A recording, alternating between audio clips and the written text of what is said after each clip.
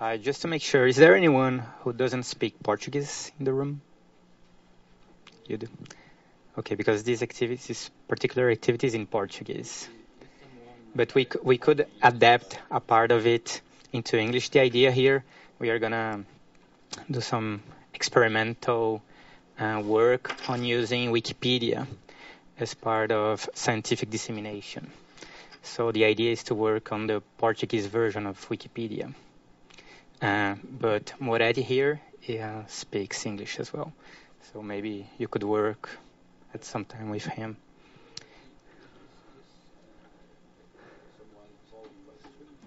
Yeah, 50 people. 50. É, então, eu de novo, pessoal, prazer. Eu não me apresentei na primeira vez, eu sou o João Pechansky, eu sou professor na área de comunicação eu trabalho dentro do CEPID, é, especificamente na equipe de difusão científica, com o professor Roque, professor Gauss, professora Cláudia. Tem um monte de chefe nessa sala. É, e a ideia, a gente, dentro do, do Neuromate, a gente adotou de maneira bastante enfática e com bastante é, preocupação a noção de ciência aberta e especificamente o modo como a difusão científica ela também tende a ocorrer de maneira aberta. Que, que isso quer dizer? Se vocês olharem, por exemplo, o nosso site, o site do Neuromates, vão ver que ele é todo Creative Commons. Toda a ideia do trabalho da difusão científica é feita na, numa perspectiva aberta. E dentro dessa preocupação mais geral sobre é, o acesso à informação, o acesso ao conhecimento, o Neuromate lançou já faz alguns meses uma iniciativa Wikipédia, mas num sentido mais geral, é, todas as tecnologias abertas que vão desde o nosso, dos nossos softwares aos nossos materiais de disseminação científica. Então, por exemplo, todas as fotos que são tiradas dentro do Neuromate, elas vão para repositórios abertos, elas podem ser reutilizadas, elas são reutilizadas. O Neuromate tem uma iniciativa de melhoria de conteúdo dentro da Wikipédia. Se vocês entrarem, por exemplo, nesse exato momento no verbete sobre spike sorting dentro da Wikipédia, esse é um verbete totalmente escrito pela equipe de difusão científica do Neuromate. E a ideia, um pouco experimental, dentro de um evento científico, até o pessoal da Wikipédia, que eu já vou apresentar e para quem eu já vou passar a palavra, é, talvez nunca tenha participado de algo assim, é um pouco envolver a comunidade científica dentro desse evento de pessoas tão é, relevantes dentro da comunidade, para participar um pouco disso. É experimental, acho que nunca foi feito. É, a ideia é que a gente saia daqui, primeiro com um treinamento sobre a utilização dessas pl plataformas abertas e colaborativas, e depois, amanhã, numa atividade em que nós mesmos, dentro de grupos de trabalho, vamos produzir material. É, a gente vai ver um pouco a dinâmica para a produção desse material, que vai ficar na Wikipédia como um resultado desse encontro. É, então, a gente vai dar início a isso, a gente vai é, explicando o processo e construindo o processo em conjunto. Deixa eu apresentar aqui primeiro é, o Rafael Moretti, que aliás voltou a casa, ele é formado aqui pela Politécnica, é, o Célio Costa, que é formado na Unicamp na área de História e Linguística. Eles são voluntários de longa data da Wikipédia, das plataformas da Wikimedia Foundation de maneira mais geral. E eles são, eles estão aqui representando de maneira voluntária o grupo de usuários da Wikipédia, da Wikimedia no Brasil.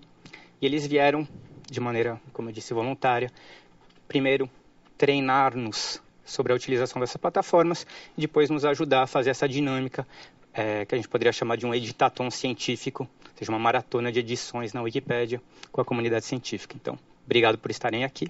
Passo a palavra. Boa tarde a todos. Uh, o João já adiantou, meu nome é Célio. Eu sou voluntário da não só da Wikipédia, mas nós veremos mais adiante que existem outros projetos Wikimedia e não se preocupem, a gente vai fazer uma espécie de glossário uh, com todos esses wiki nomes, né? Wikimedia, MediaWiki, Wikipedia e há vários outros.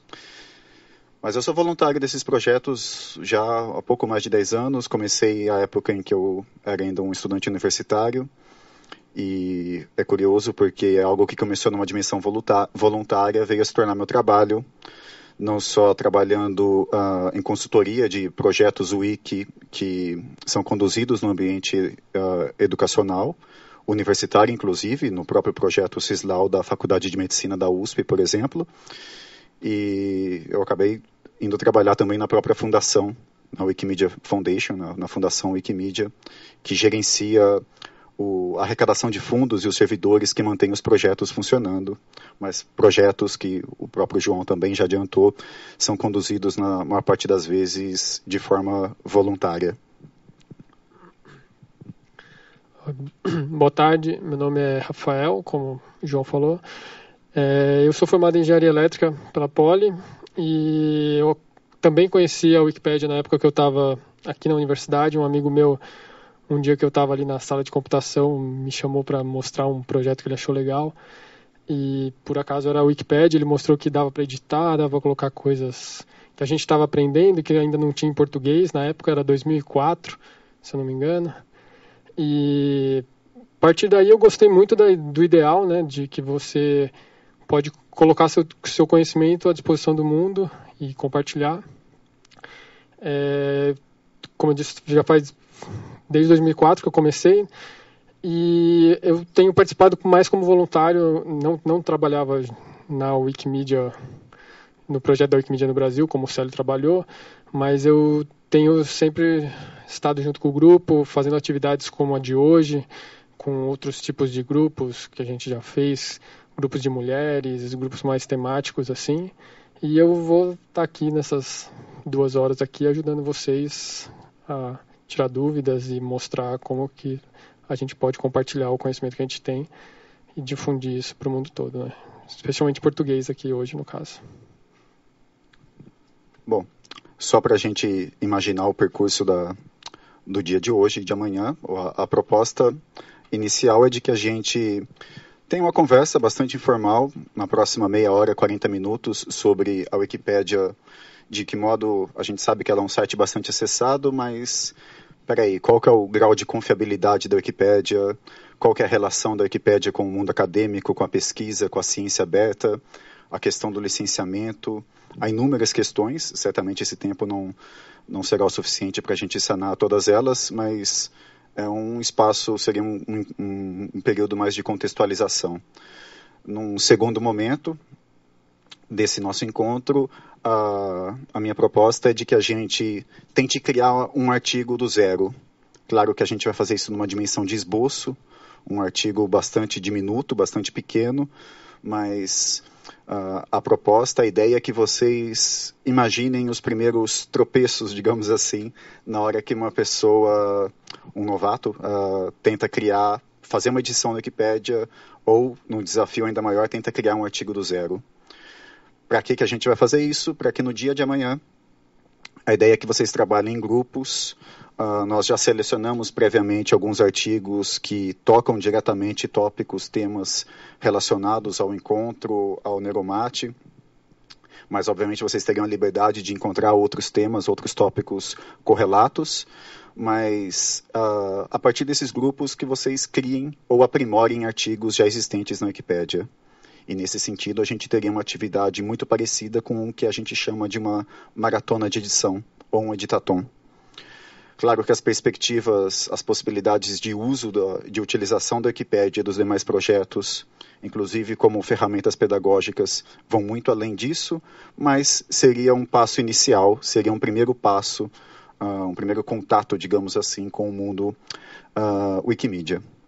E por falar em primeiro passo, só para eu ter um pouco de contexto, uh, não se preocupem, as perguntas não vão resultar em nada não, em perguntas subsequentes, né? nenhum constrangimento, mas quem aqui já editou a, a Wikipédia? Se puder erguer a mão. Legal, já.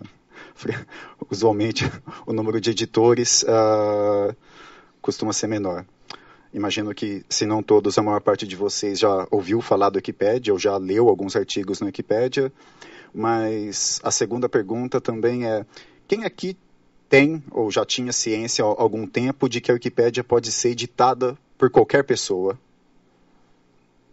Muito bom, muito bom. Bom, essas duas, essa informação já gera um certo constrangimento, né? É engraçado porque a gente está falando do quinto site mais acessado do mundo. na verdade, a Wikipedia oscila entre o quinto e o sexto website mais acessado do mundo, perdendo só para grandes portais como Google ou o Baidu na China, por exemplo, Twitter, uh, Facebook, etc.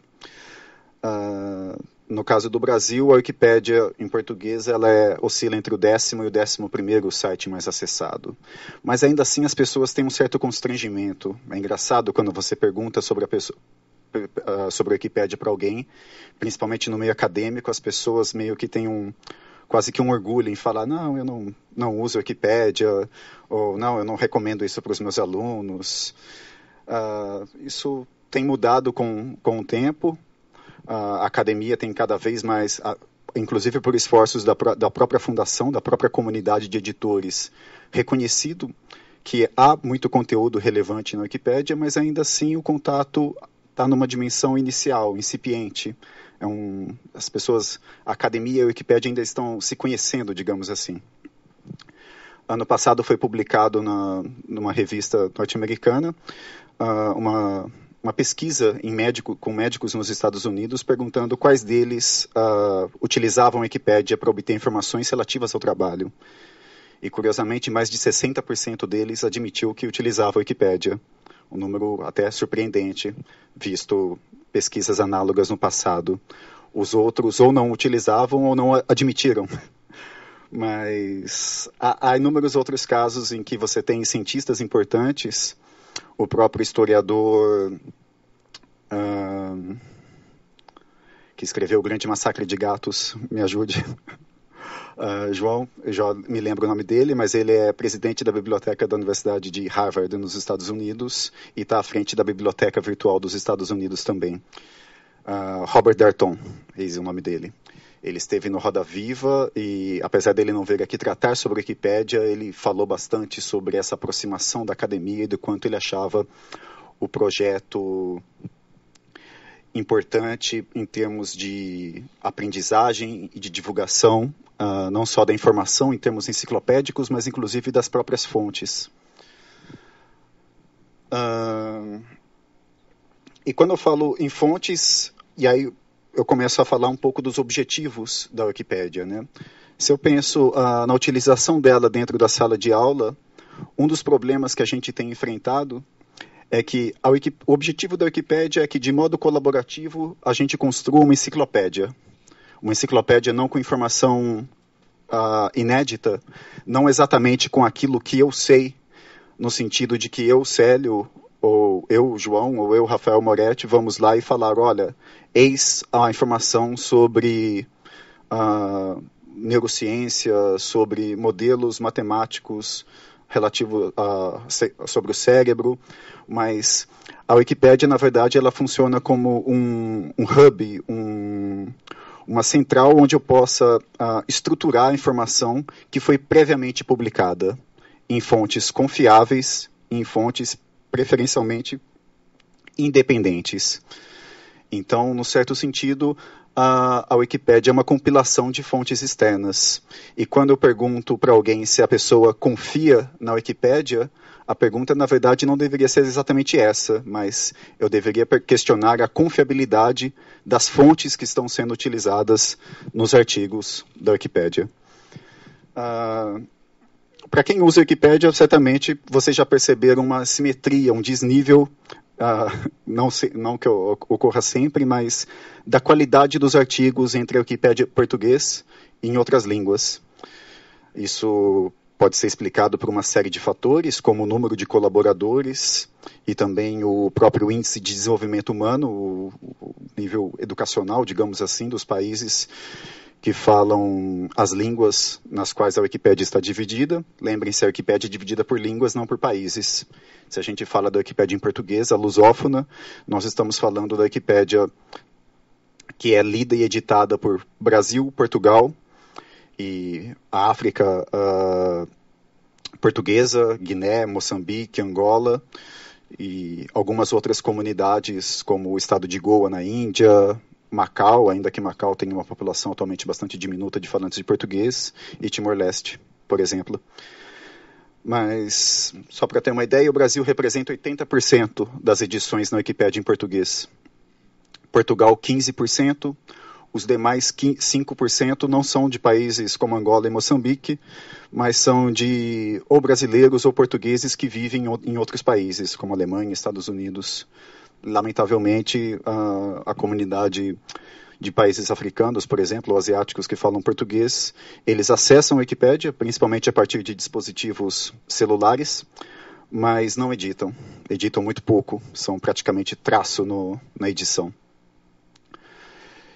E para além dessa questão de, da confiabilidade e da, da proposta da Wikipédia de sempre tratar uh, com conteúdo previamente publicado, então nesse sentido ela ser uma compilação, um hub de fontes, eh, de, uh, cujas informações vão ser, ser dispostas num, numa linguagem enciclopédica, uma outra, um outro desafio que a gente enfrenta é quando os professores, ou tal como a gente está tentando fazer aqui, uh, nesse evento de, de ciência, que é a apropriação da Wikipédia como uma possível ferramenta pedagógica. Lembrem-se, a Wikipédia não foi pensada dessa forma. Então, muitas vezes, muitos professores e alunos que de boa fé tentam utilizá-la num contexto dentro da sala de aula acabam se deparando com questões sobre regras de estilo, uh, uma série de princípios e parâmetros que foram sendo construídos pela própria comunidade de editores da Wikipédia. E nisso, cada Wikipédia em cada língua criou regras relativamente distintas umas das outras, né, uma, uma comunidade da outra. Uh, e, e esses, esses princípios e parâmetros às vezes acabam uh, gerando uma certa frustração nesses professores e alunos que, ao colocarem o seu conteúdo, seja no Wikipedia ou seja em outro projeto, como o Commons, por exemplo, que é um repositório de arquivos de mídia, como fotos, vídeos e, e material de áudio, por exemplo, esse material acabou sendo uh, eliminado por não estar minimamente adequado ou de acordo com, a, com as expectativas do projeto. Né? Então, uh, o nosso desafio é que haja um diálogo entre a academia, entre professores, entre alunos e os projetos, para que os dois lados vejam, tenham um saldo positivo ao final do, de um determinado projeto.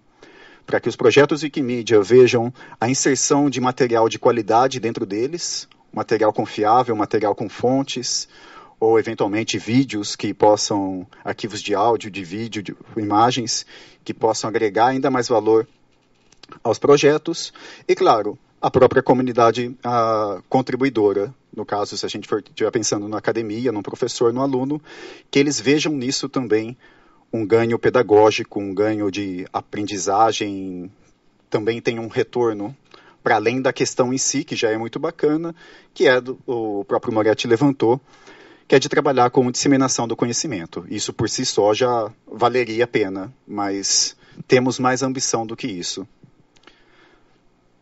Estou falando sobre uma série de temas controversos aqui. Vocês, alguém, alguma colocação, alguma dúvida? Bom, uh, só para baixar aqui um pouquinho. Todos vocês certamente conseguem chegar rapidamente à, à página principal da Wikipédia, que ainda estamos deslogados. Mas descendo um pouco a barra de rolagem, nós temos, por exemplo, uh, uma lista aqui com, não todos, mas boa parte dos demais projetos Wikimedia. Tá, o Wiki, que, que é o Wikimedia? Wikimedia, essa palavrinha, ela pode se referir não só a, apenas aos conjunto, ao conjunto do, desses projetos dos, uh, do qual a Wikipédia é o principal deles, mas não o único. Pode se referir também à fundação que gere todos esses projetos no sentido de arrecadar fundos e manter os servidores funcionando. E pode se referir também à comunidade de editores do qual uh, nós fazemos parte. Nós aqui, enquanto pessoas que estamos dispostas a colaborar com o projeto, ainda que de forma pontual nesse dia, a princípio, nós já podemos ser considerados parte desse movimento chamado movimento Wikimedia. Então, essa palavrinha Wikimedia é uma palavrinha um pouco polissêmica, né? ela tem vários sentidos. O que, é um wiki? Wiki é uma palavrinha do idioma uh, havaiano que significa rápido e que acabou dando origem a um programa de computador desenvolvido lá em meados da década de 90 que me permite editar conteúdo dentro do contexto da internet, criar páginas, editar o conteúdo dessas páginas e eliminá-las. Eu posso fazer qualquer coisa com o wiki. Posso fazer um diário pessoal, e nesse sentido não seria um wiki colaborativo, por exemplo. Posso fazer um wiki para catalogar itens de uma determinada coleção, ou de uma empresa, ou de um acervo.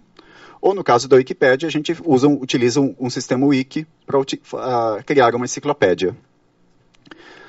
Tendo esse contexto do, do que é um wiki, podemos passar aos diversos wikis, que são os projetos irmãos da Wikipédia alguns deles mais ou menos interessantes, dependendo não apenas da, da, de uma dimensão pessoal, mas ah, pensando aqui o nosso contexto.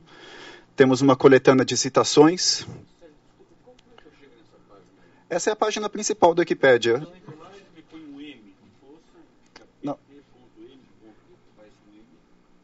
Ah, o M talvez porque ele identificou que você está uh, acessando um dispositivo móvel uh, um tablet ou um.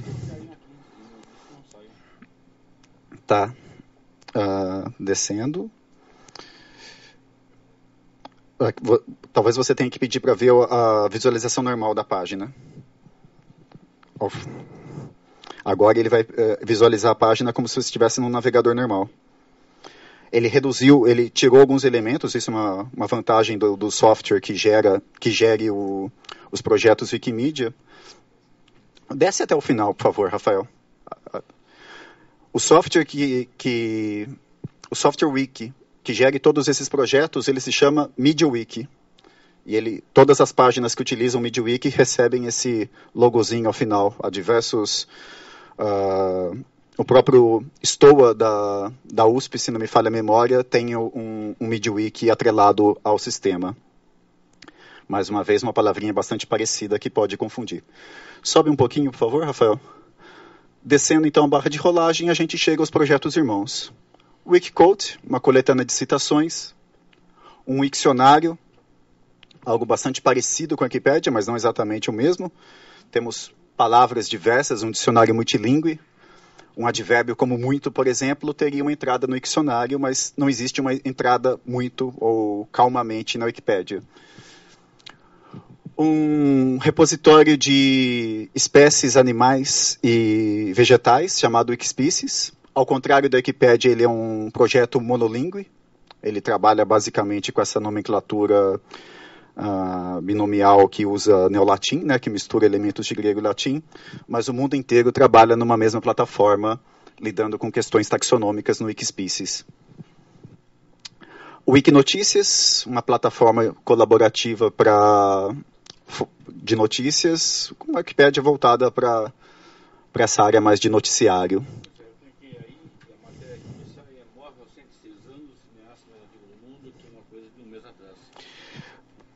Sim, perfeito. E o que me permite entender o, esse Wikinotícias? De todos esses projetos de língua portuguesa, eles dependem do quê? Da ação voluntária de comunidades. Perfeito. É, eu usaria dizer, não tenho dados concretos para isso, que é de todos os projetos em português é o que tem uma comunidade menos ativa. A Wikipédia em português ela nasceu em 2001, mas foi apenas em 2004 que ela começou a ter uma, uma comunidade minimamente ativa a ponto de despertar o, o interesse de muitas pessoas e de ter uma, um ranking mais uh, sensível dentro do próprio Google. Ela sendo conduzida como um projeto sem fins lucrativos, ela pôde ficar, num certo sentido, incubada uh, durante esse período de três ou, ou, quatro anos, em outras línguas, não em, em inglês, até que a comunidade uh, se solidificasse, digamos assim, ou aparecesse de forma mais efetiva. Existem Wikipédias em línguas com, uma, com comunidades muito reduzidas, como Quechua, por exemplo, ou Nahuatl, o idioma azteca. E vocês podem imaginar que essas Wikipédias até, esse, até o presente momento, estão numa situação parecida com o Wikinotícias em português.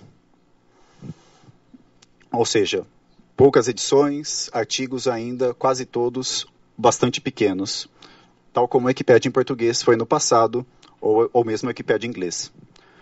Wixsource. Esse é um projeto de interesse, porque é nele que a gente coloca fontes do, de documentos que já estejam em domínio público ou licenciadas já de forma aberta. Então, pensem, por exemplo, no caso da Wikipédia em inglês. Posso? Claro, à vontade. Então, aí eu vi a Wiki University. Uhum. Aí eu fui lá, tem ciências exatas, eu fui lá tem matemática. Sim. Tem processo estocástico. Eu abri lá para ver e eu caio num a fazer com, a, com, uma crase. né? Isso é um erro de ortografia clássico no Brasil que se usa a orto- a ortografia francesa. Uhum. Como é que isso acontece? Vocês não, não- eu ficaria muito indignado pelo secundário. Eu- o, o que eu posso dizer é o seguinte: corrigido. a, Wikipédia é um processo colaborativo de a Wikipédia, não só a Wikipédia. Se eu, se eu aqui, o deputado Eduardo Cunha é um corrupto indigno. Certo. Tá Não necessariamente. O que, o, o que acontece é. O-. E aqui o que é uma coisa Uhum. Certo. Al- Algum professor que tenha dado início, ou uma pessoa que tenha dado início a esse curso na universidade, ela estruturou o- a apresentação do curso e não desenvolveu mesmo- todas as páginas ao mesmo tempo. Então, algumas páginas talvez tenham a fazer. Quando eu a com a crase, cara, não tem que ter crase no a. É uma, é uma preposição simples, não é uma Uhum. artigo. ó, Você pode encontrar erros de português em, em diversos contextos. Mas eu- acho que a ortografia, Uhum. eu não sou um fanático. Mas é que não tem a pessoa para fazer isso. Mas é automático, cara, usar. você vai lá e. Não, automático. Mas tem que ter uma coisa automática de correção, porque senão você perde a credibilidade. Porque eu não vou dar para o estudante do ensino médio um texto em que ele vai aprender que a fazer tem caso no Eu concordo em, em partes com, contigo no, no- no seguinte sentido. Ah, eu acho que a ferramenta é uma excelente, ah, a Wikipédia e os demais projetos são uma excelente ferramenta pedagógica no sentido de exatamente mostrar para um aluno ah, como ele deve consultar fontes, seja a Wikipédia, ou seja livros ou quaisquer outras fontes. E nesse sentido, para além de apontar erros na Wikipédia, que é muito fácil, a Wikipédia tem milhares, milhões de artigos e você vai encontrar artigos que o erro de português é o menor dos problemas, há artigos com inconsistências muito mais graves, estruturais. Então, tem um artigo sobre um, um soldado época da Revolução que é canibal e parece um pouco interessante. Sim. enfim, tudo bem. O- Então, o meu ponto é o seguinte, eu leio a Wikipédia sistematicamente e já leio em inglês, não Uhum. em português. Porque tem mais matéria. Mas eu já tenho uma colega muito cara, amiga minha, pedagoga, que diz que ela não, não só não recomenda, como ela aconselha a não usar a Wikipédia, porque não é confiável. Eu acho que é uma coisa é, preconceituosa, um pouco passa- passadista. Agora, aqui é um caso grave, quer dizer, você não pode brincar com ortografia, você quer que isso tenha um efeito negativo, senão você. Ah. É uma correção automática, fácil. A fazer, não tem caso. Me, me permita ah, dois minutos, ah, no sentido de que ah, quando você trabalha com um aluno, ou seja, com qualquer pessoa, falando, olha, isso não é confiável, numa perspectiva meio dualista, isso pode gerar um- uma sensação ingênua de que há coisas que nunca são confiáveis e há coisas que são sempre confiáveis. E isso é um reducionismo bastante perigoso quando a gente fala em produção de conhecimento, em ciência. E para além dessa questão de mostrar os erros que existem na Wikipédia, que não, não, não são poucos, mas me parece uma perspectiva bastante interessante também mostrar erros em obras de qualidade, obras de referência. E você possibilita que o aluno veja que há erros de revisão, inclusive ortográfica. Ótimo. Quer dizer, uma editora tem em geral um corretor Sim. de texto.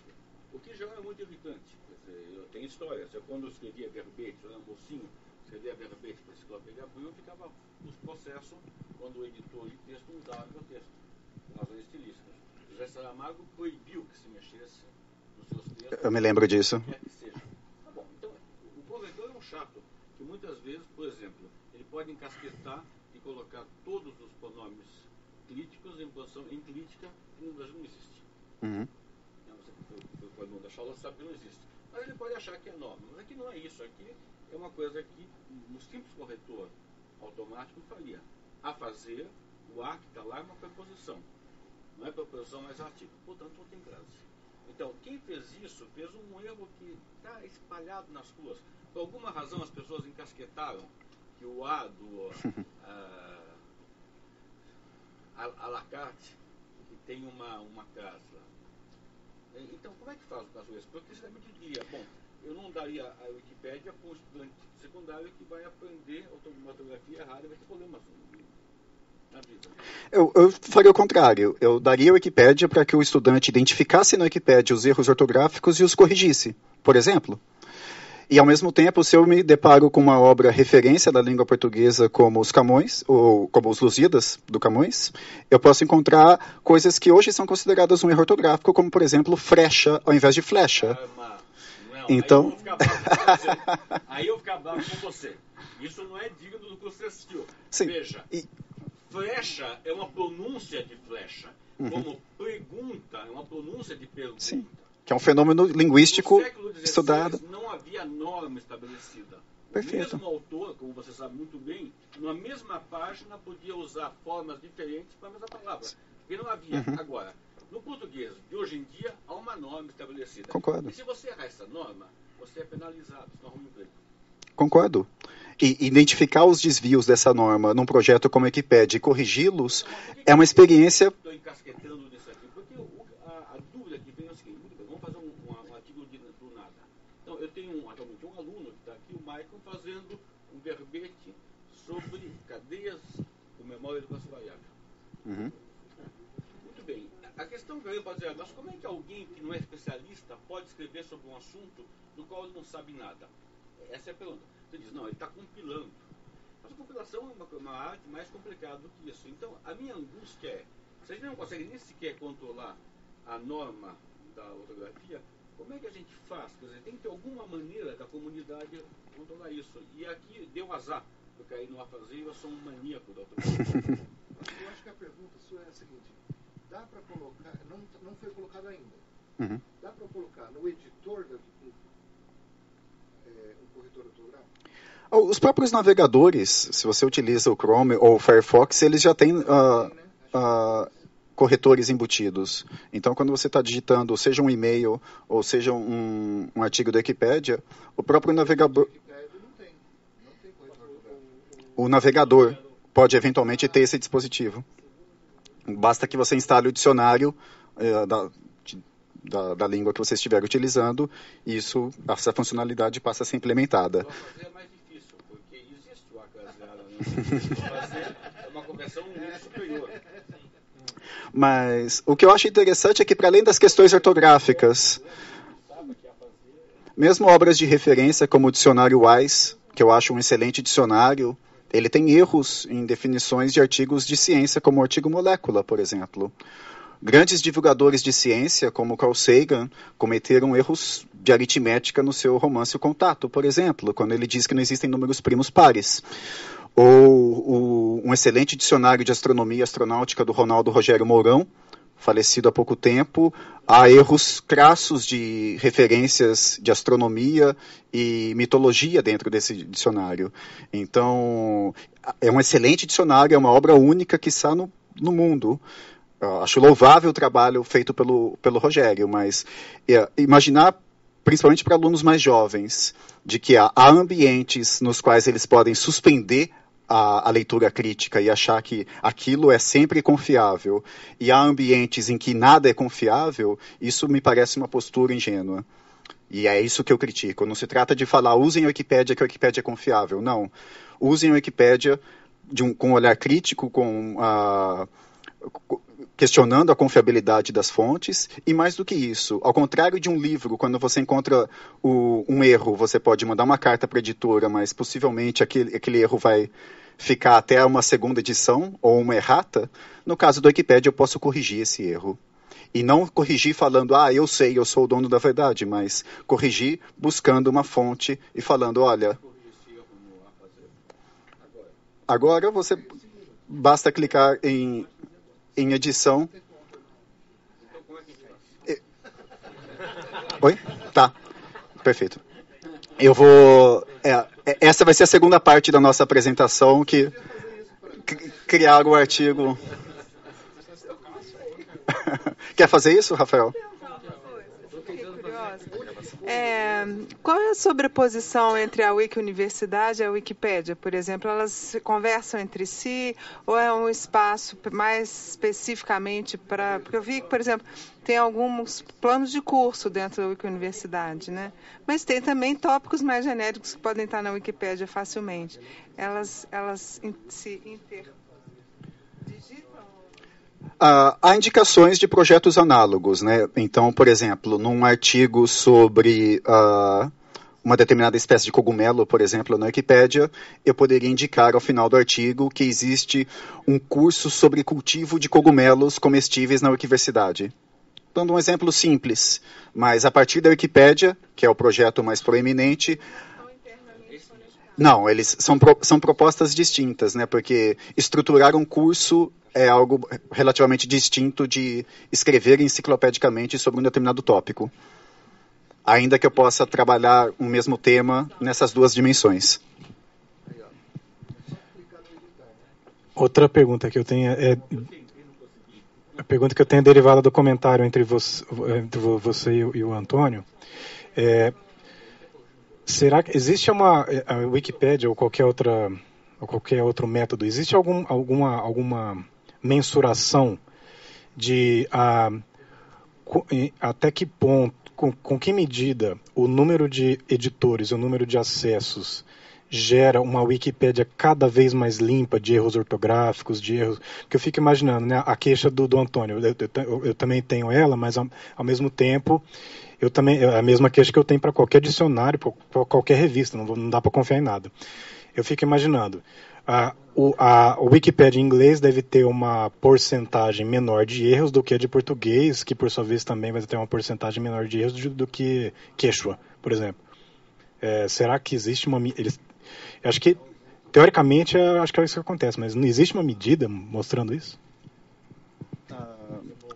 Há diversas pesquisas nesse sentido, mas todas delas padecem de critérios objetivos, né? Quando você vai questionar a qualidade de um artigo, a incidência de erros, então toda sorte de arbitrariedades são cometidas frequentemente. Uh, de modo geral, a gente poderia falar que dois fatores básicos seriam o número de editores. Quanto maior a comunidade de editores, melhor a quantidade de, do, do material e também uh, a origem desses editores. Então, se você pensar, por exemplo, a Wikipédia em alemão, que tem uma comunidade na Áustria, na Suíça e na Alemanha contribuindo, uh, num, num, sem querer fazer qualquer tipo de darwinismo social, mas a, a qualidade educacional e o de desenvolvimento humano desses países está num outro patamar do que outras línguas de países sub, uh, com desenvolvimento mais incipiente. Então, esses seriam dois critérios, digamos assim, gerais, linhas gerais que a gente poderia observar para ver a qualidade dos artigos. Uh, existe um certo clichê no, no movimento Wikimedia de citar sempre um artigo publicado na revista Nature em 2005.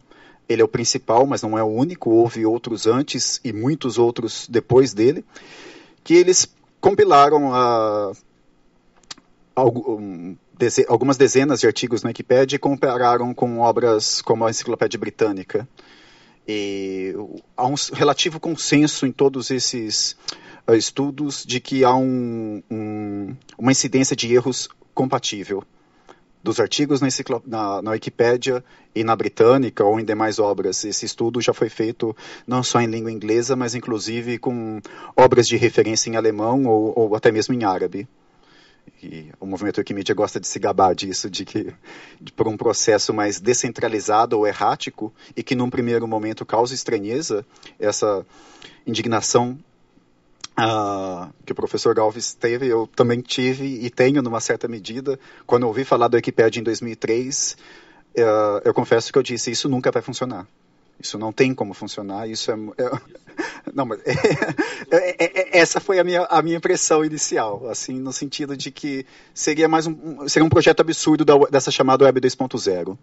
Mas eu costumo brincar que, na teoria, a Wikipédia nunca funcionaria, mas ela só funciona na prática, porque ela é uma espécie de bola de neve, digamos assim, que ela, ela retém a maior parte das edições positivas, lamentavelmente não todas, mas ela retém a maior parte das edições positivas. Eventualmente acontece de alguém fazer uma boa contribuição e por algum motivo, algum ruído no processo, essa boa contribuição acaba sendo uh, removida. E ao mesmo tempo ela consegue remover a maior parte das edições negativas. E mais uma vez eu digo a maior parte, mas não todas. Então é possível também que vandalismos ou testes que prejudicam uh, os artigos acabem ficando mas o saldo é sempre positivo, a cada dia. Então, eu usaria dizer que a Wikipédia, desse exato momento de hoje, era, é melhor que a de ontem, que era melhor de, que foi, era melhor de anteontem e assim por diante. Que horas temos? Três. E como funciona a validação da, da, da, de uma atualização, por exemplo, como ele fez agora? É automática? Alguém verifica isso? A gente vai entender esse, esse funcionamento na, um pouco melhor quando a gente estiver editando, mas sobe um pouquinho a barra de rolagem, por favor, Rafael. Vai em mudanças recentes. Espera um pouquinho.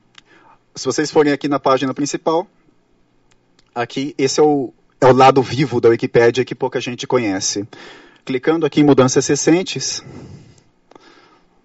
eu tenho acesso, desce um pouquinho a barra de rolagem. Ai, tá ótimo, Rafael. Uh, só beleza. Aqui eu consigo ver que o artigo Tribunal Internacional de Justiça, às 6 horas e 2 minutos, aqui a gente está no horário uh, internacional, mas eu posso configurar isso para que seja no horário, mostre no horário brasileiro. Uh, um IP, uma, ou seja, uma pessoa não registrada, adicionou uh, pouco mais de um kilobyte, quase dois kilobytes de informação. E aí eu não preciso conhecer esse artigo previamente. Basta que eu clique aqui na diferença para que eu veja o que foi inserido. Então, esse processo de validação... ele fez um vandalismo, um minuto de silêncio para os contribuintes europeus. Possivelmente é um, um é um usuário uh, anônimo de Portugal fazendo algum tipo de protesto uh, no artigo. E é possível que a pessoa reverta o artigo para o estágio anterior com um único clique. Qualquer pessoa pode fazer isso. Então, o processo de curadoria, digamos assim, ou de revisão, uh, de controle, ele também é feito de modo descentralizado o que causa uma certa estranheza. A gente está habituado com o sistema das grandes editoras, da revisão de pares num, uh, em sistemas controlados. Aqui, isso é feito de modo absoluta, absolutamente descentralizado. E tal como eu disse, se vocês observarem, se permitam fazer isso, observar não um artigo na Wikipédia, mas naveguem pela Wikipédia, vejam diversos artigos, certamente vocês vão encontrar muita coisa ruim, muita coisa mais ou menos, mas muita coisa boa também. E aí que você começa a falar, poxa, mas como é que isso acontece? E de repente você se depara com um artigo que tem uma qualidade digna de figurar numa, em qualquer revista internacional sobre ciência. Aí você fala, não, tem alguma coisa, entre aspas, errada aqui. Ou, isso não era para acontecer dessa forma. Eu sei como isso acontece dentro da academia, mas isso está acontecendo também fora da academia. E aí, esse é um dos nossos objetivos de tentar entender como isso funciona e, mais do que isso, fazer com que esses processos ah, acabem vicejando também para além dos muros dos institutos de pesquisa, etc. da crase. Ah, não é, não é, não é. Ah, tá. No... A gente pode fazer. Faça isso, por favor, Rafael. Na equiversidade, clique em mudanças recentes. Página principal da equiversidade, mudanças recentes ali ao lado. Aqui, ó. Às 5h59, um IP, no caso o IP aqui da, da nossa sala, uh, removeu uh, ah, 14 bytes de informação. Esse é o fuso. como a Wikipedia não é por país, mas é por língua, ela assume o horário internacional. Se você se logar e configurar isso, você pode ajustar para o horário que você desejar. Se você estiver no Timor-Leste, em Portugal ou no Brasil, um horário distinto. Ou mesmo no Brasil, os fusos brasileiros que não são sempre os mesmos. Aqui, ó. E aí a pessoa quer conferir, porque o que, que afinal de contas esse IP fez? Ele mostra como estava antes, e como ficou depois. Se for uma edição positiva, isso fica. Se for uma edição negativa, isso pode ser revertido. Ou pode ser uma edição controversa. Isso não é nem certo nem errado, mas ele colocou uma edição que talvez seja parcial. E aí, Rafael, um, mostra, volta para a página do artigo, do, da própria. Isso. Percebam que ao lado do, da aba de página há uma aba de discussão. E é lá que eu posso resolver as controvérsias sobre um determinado tema. Então, se eu coloco uma informação de um uh, mais polêmica, seja do ponto de vista metodo científico, metodológico, ou seja do ponto de vista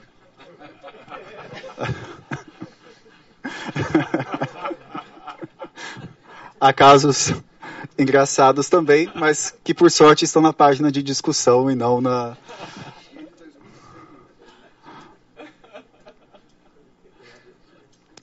Mas eu.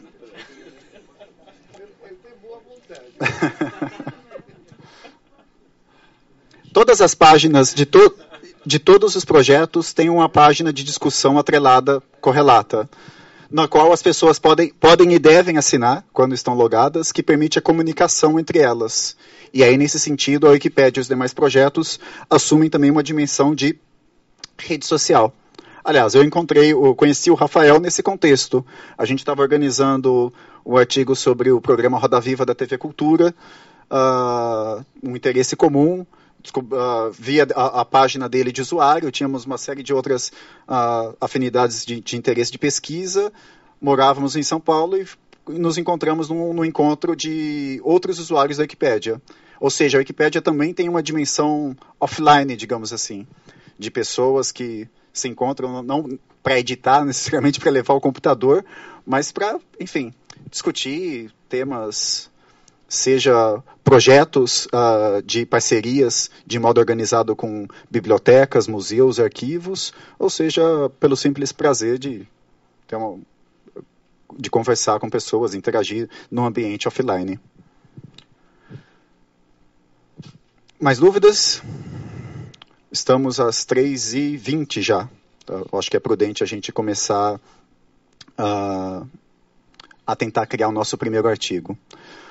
Voltemos lá para a Wikipédia. Eis a página que todos certamente conseguem a, chegar. Um, um, não é necessário, mas um primeiro um passo importante que todos vocês podem e devem fazer seria criar uma conta. Rafael, se você puder criar uma conta para a título de ilustração só. Como é que eu sei que eu não estou logado? Basta que eu veja lá em cima. Se estiver aparecendo entrar ou criar uma conta, eu estou deslogado. Se houver uma outra estrutura de informações com nomes, página de discussão, é porque já existe um login previamente ativo na sua máquina, no seu celular. uma coisa engraçada. Tem um verbete processo estocástico uhum. e um verbete processos Olha, isso é um problema, né? um, um problema que a gente resolve de maneira fácil, mas a, a gente resolveu isso no nosso livro de estilo, uh, padronizando, com raras exceções, os artigos sempre no singular. Então, o correto seria um artigo processo estocástico e não no plural processos esto estocásticos. Só que, eventualmente, as pessoas não sabem disso. E pode ser que alguém comece a escrever um artigo no, no, com a entrada no singular e outra pessoa com, comece o artigo no, com uma entrada no plural. O que a gente faz é observar as informações relevantes que foram inseridas em um caso em outro, migrar as informações relevantes para a entrada correta, que no caso seria a entrada em, uh, no singular, e fazer um, o que a gente chama de redirecionamento. Toda vez que a pessoa fizer a pesquisa com o um termo no plural, o, aquela entrada no plural ela redireciona, ela leva a pessoa automaticamente para o termo no singular. Isso vale para diversos casos. Getúlio Dornelles Vargas leva para Getúlio Vargas, ainda que as duas entradas sejam legítimas para falar do mesmo ex-presidente. Não, e por azar, ou aquele que está no singular tem muito menos coisa do que aquele que está no plural. Curioso, então a gente vai ter que ter um trabalhinho aí de migra migração da informação do, daquele que está no plural. As, isso às vezes acontece também com maiúsculas e minúsculas. o, o software da, da Wikipedia ele é sensível a, a minúsculas e maiúsculas. Na verdade, ele considera a primeira letra sempre maiúscula, mas as demais ele faz a diferenciação. Então, se você estiver escrevendo uh, processos com estocásticos com o E maiúsculo, ele vai ser uma outra entrada distinta. Por isso a importância dos redirecionamentos, para evitar conteúdo duplicado ou que as pessoas colaborem em locais distintos, quando na verdade elas deveriam estar colaborando no mesmo, no mesmo local. Eu sei que daqui eu estou assim, bloqueando vocês, mas você podia mostrar o processo estocástico? Esse, Ah, esse é o plural. Não, não. ah, ah, veja, desculpa. Aqui é a universidade. Ah, é o universal. Então é na Wikipedia, aqui, na Wikipedia. Aqui. Sim, então, então melhor ainda. Então não, não existe esse problema na Wikipedia. A gente pode até prevenir esse problema nós mesmos criando esse redirecionamento. Faça isso, Rafael. Você consegue criar um redirecionamento só para ilustrar? Mas você Procura processos estocásticos. Aí na, no- Ah, isso. Clica. Ó, já foi feito, ó. Ele foi redi- redirecionado. então veja uma coisa. é que um É, tá, eu, eu não tinha percebido. Mas esse verbete é indigente. Quer dizer, ele está abaixo da crítica. A primeira frase é totalmente vazia, mal escrita. Certamente o outro tinha dúvidas com a fazer, mas aqui é indigente. Isso acho que mostra a angústia. Quer dizer, alguém que leu duas outras referências, o Nelson e o Marcatz, são maravilhosos, mas ele não entendeu, né? Ele começa. Então o que, que faz aí? Clica, clica na, na wiki inglesa. Você abre lá na wiki inglesa. Isso é Abre a página inglesa. Bota no Google Tradutor. E joga, joga na, na página portuguesa Não, não- e trabalha em cima Não clica ainda, Rafael, mas só mostra o. o- Não dá certo. Aquele primeiro artigo que estava aqui, você lê, Uhum. a tradução. Não, você tem que questões- traduzir, né? Não é? Ah, não sei se todos já haviam percebido isso antes, mas a maior parte dos artigos na Wikipédia eles têm isso que a gente chama de interwikis, né, que é a indicação da existência eventual, não, não necessária, de um artigo equivalente em outras línguas. Então, se vocês quiserem ler sobre processos esto- estocásticos em alemão, por exemplo, ou inglês, basta que vocês venham nessa seção de interwikis. Ela é padrão, ela sempre fica ah, no canto esquerdo, inferior esquerdo. E aí, coloque em, inglês, por favor, Rafael.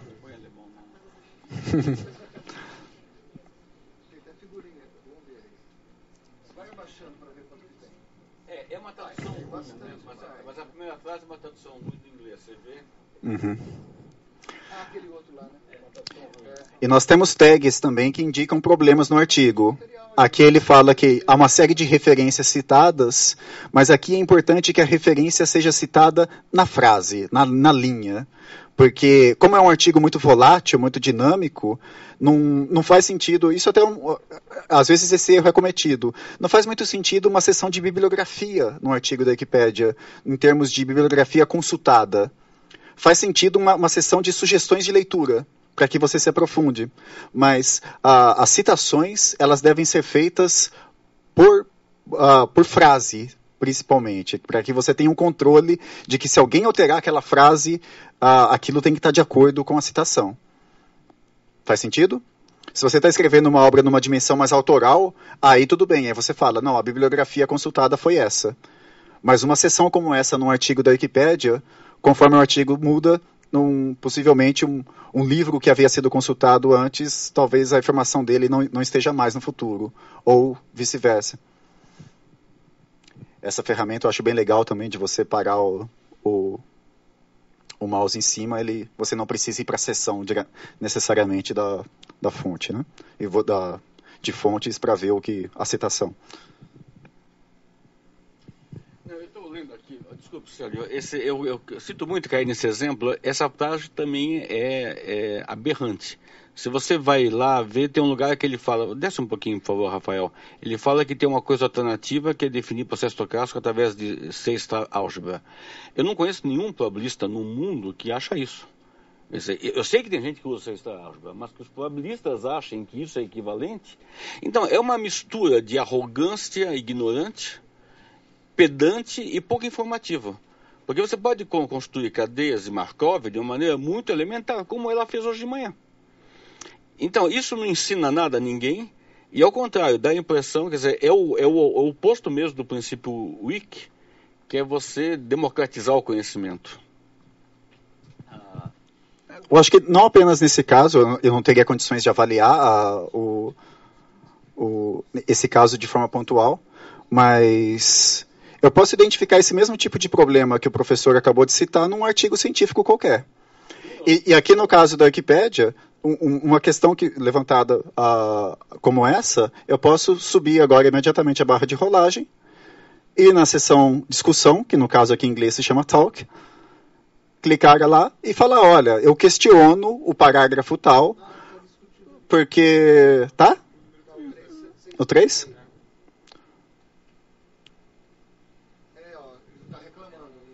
Olha só, e aí, e aí que está a maravilha, a mágica do, do, do Wiki.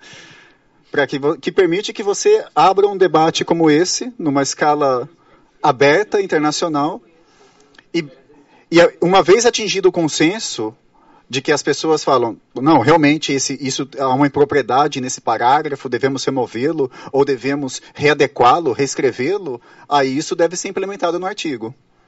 Faz sentido isso? Não, isso aí,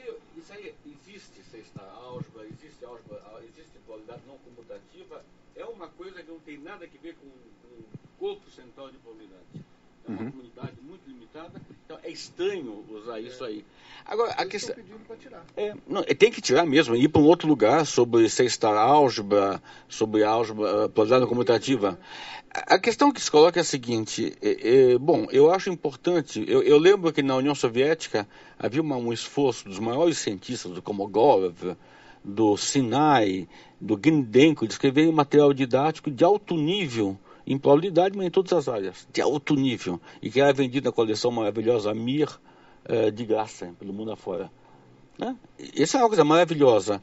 Agora, aí é você brigar com um monte de gente que acha que sexta álgebra é importante. Eu não estou afim de começar a brigar. Quer dizer, realmente, deixa os caras com a sexta álgebra. Então, por que, que a gente tem que se engajar nisso?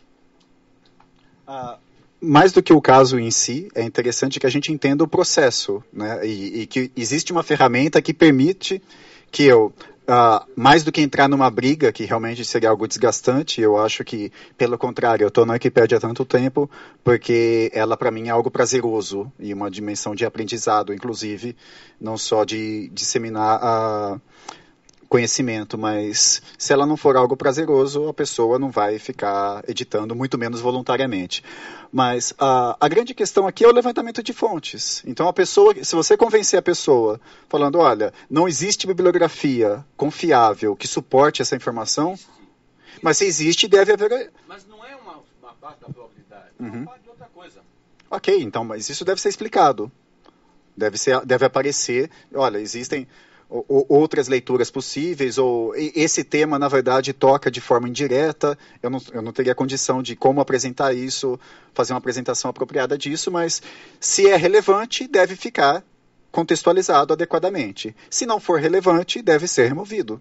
É simples. E para isso, você debate com outras pessoas, isso faz parte do processo.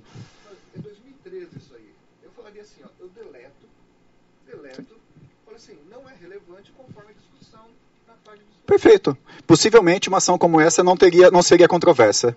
Vamos ver, Rafael. Deleta. Olha, agora eu deletar um macro agora, né? Não, mas deleta. Não, porque o cara tem razão. Esse boi, sem noção, isso deixa a coisa correta. Ou faz uma, um verbete. É, por que, que é mencionado no artigo? Uhum. Nesse caso, eles estão sugerindo que seja migrado. Talvez por isso que não foi deletado. Porque alguém precisa realmente migrar cara está sugerindo migrar para a probabilidade não computativa. Então, Fazer um novo verbete. É, talvez exista um verbete de probabilidade não computativa e está sendo sugerido que seja migrado e ninguém fez essa migração, porque talvez cabe em um lugar lá. Mas, mas, vamos migrar já, vamos migrar isso. Dá um trabalho. Migra aí. Não, uh, então, veja, não tem uma página uh, probabilidade não comutativa aí, o álgebra do Neumann. Vamos fazer esse trabalho? Von Neumann, von, von Neumann álgebra, so non-commutative probability. Von Neumann, Não, não, não, não. não. Não, atenção. non-commutative probability.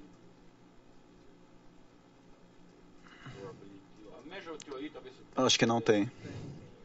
E measure theory, ve- veja aí, non-commutative talvez servisse. Measure, measure. É, vamos ver. Talvez aí pudesse ir. Sim, isso, pronto, põe aí. Não, mas é isso. É, esse é o lugar. Põe aí. Não, a- a- o, é, se- se- seria uma atividade interessante, mas que ela exigiria uma, uma dedicação de tempo um pouco maior da nossa parte de. Mas é um, caso, um estudo de caso interessante. Veja, Ah. é, sério, você, você ajoelhou, tem que rezar. Você veio num lugar em que você sabia que tem gente profissional, todo mundo aqui é profissional, mesmo os mais jovens são profissionais de probabilidade, computação, biologia, neurobiologia. Então, é claro que a primeira coisa que a gente vai ver é ver as palavras da nossa área. Primeira coisa. E aí já descobrimos algumas coisas. O A fazer era fácil. Esse é mais difícil, por sorte o colega lá em 2013 já nos deu a- o quadro. Como é que a gente faz um caso como esse? Eu, eu reclamo para quem? Ah, Não, é, veja, co- como a gente está num, no- como a gente tá num projeto colaborativo, descentralizado, a gente não vai reclamar para alguém, ou a gente pode. A ideia se você não estiver ah, predis- ah, com a predisposição de solucionar o problema, você pode indicar o problema numa, na página de discussão, tal como foi feito previamente. Mas seria eu, eu não sei aqui, seria, vocês estão sugerindo basicamente migrar um parágrafo para esse artigo, é isso? Faria sentido? Eu acho que não, porque talvez tenha aí. colocar na seção de exemplos, porque é um exemplo. Exemplo. Clica no, em exemplos. Muito bem, Leonardo. Tá. Ah, Promovido leitor. Precisa abrir a outra página e ver como está estruturado o outro, o outro parágrafo, porque eu não sei se vai ser simplesmente copiar e colar na outra página. Tá, ok. Ah, Você consegue abrir uma. Abre mais uma aba. Achei, achei, achei. Volta atrás, volta atrás. Aqui embaixo. Applications. Uh, free probability. Aqui. Ok. Probability and probability. E aí direciona para esse verbete. Para essa sessão, na verdade. Então, Seria, vocês estão sugerindo então colocar aquele parágrafo nessa sessão. É isso? como,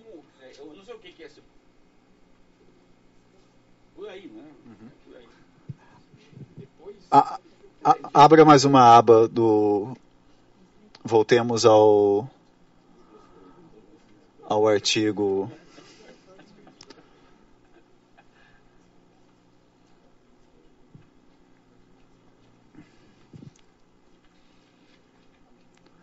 De processos esto- estocásticos, não é? Da- Em inglês? Esse aqui é o que está certo? ou- Não, esse aí é pro, é o qual a gente vai redirecionar.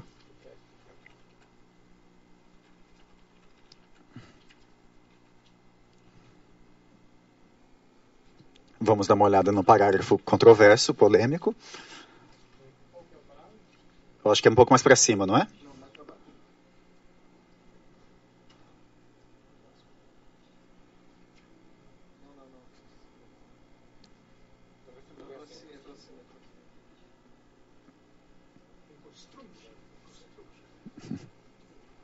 Aí. É isso, né? Sim. É, tudo, né? Mas tudo. não, não, porque. é, Ah, construction. There is at least one alternative of some sort, mas É, é esse aí mesmo. Ah, É esse aí qual? Ah, ah, O segundo? Segundo parágrafo. Tá. E o terceiro? E mais O terceiro. Não, o terceiro é mais. é, Ou você pode fazer medida, primeira integração. Isso é uma bobagem. só. Você você pode fazer primeira integral ou ou depois. É, mas ele está escrevendo business análogos. Ele tá escrevendo- Mas Não,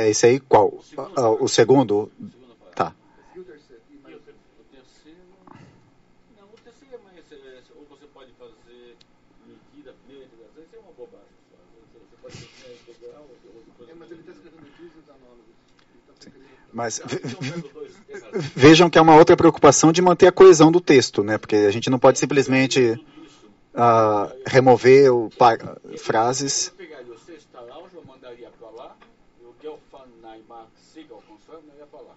E tiraria tudo isso. Desculpa, eu não. Eu diria que é, esse daqui, esse daqui pode, pode ficar, tá vago, mas pode ficar. Esses daqui eu tiraria e eu mandaria, tem o Gay, GeoFund Neymar Construct, que está clicado, que deve estar lá, e isso eu não sei o que que é, uma bobagem. Tem o Sexta Álgebra e tem isso daqui que eu mandaria para o lugar da Sexta Álgebra. Então, ah, só para ver se ah, são esses dois. Ah, Ra- Rafael, vai no sumário de edição, fala que você está removendo tal como foi sugerido na página de discussão. Você pode remo já removeu. Isso aqui é o que a gente chama de sumário de edição. E isso é uma espécie de registro, uma espécie de etiqueta que- no qual a gente não é obrigatório, mas é muito desejável que a gente faça para que as pessoas entendam o que eu estou fazendo.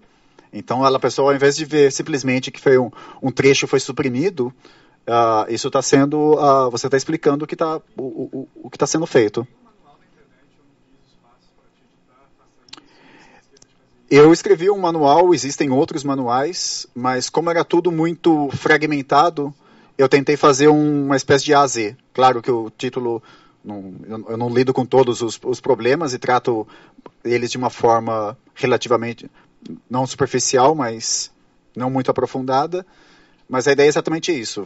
Ninguém quer ler um livro para para editar a Wikipédia, mas os temas que envolvem a edição da Wikipédia certamente dariam para escrever ah, centenas de páginas. É, eu sei que tem um projeto da Wikipédia que quando você ah, cria um novo usuário, ele te oferece para uma viagem espacial que te ensina a editar. Então, se você criar um usu- usuário Na verdade, há diversos projetos nesse sentido, mas algo que a gente questiona também é se o próprio ambiente Wiki é o melhor lugar para a gente aprender sobre o Wiki.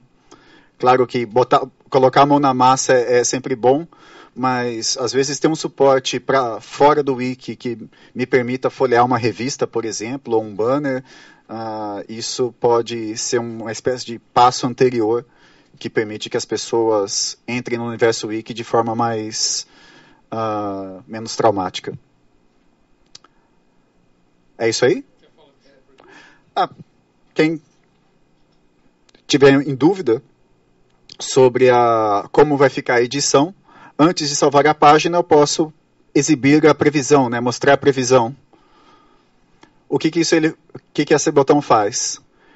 Ele me mostra ah, como é que vai ficar o, a página depois da edição, contemplando a, pa, a parte, a visualização final, e aqui embaixo ele ainda mostra o código que eu estou editando. Bateu o olho, viu que está ok, salva a página. A gente está logado? Não? Ah, mas ele salvou. Ah, sua edição foi salva. Corre lá no Mudanças Recentes. Eu digo corre porque a Wikipedia em inglês, como ela tem muita edição, a, a mudança muitas vezes desaparece da. Vamos ver se a gente acha. Aqui, ó. Pronto.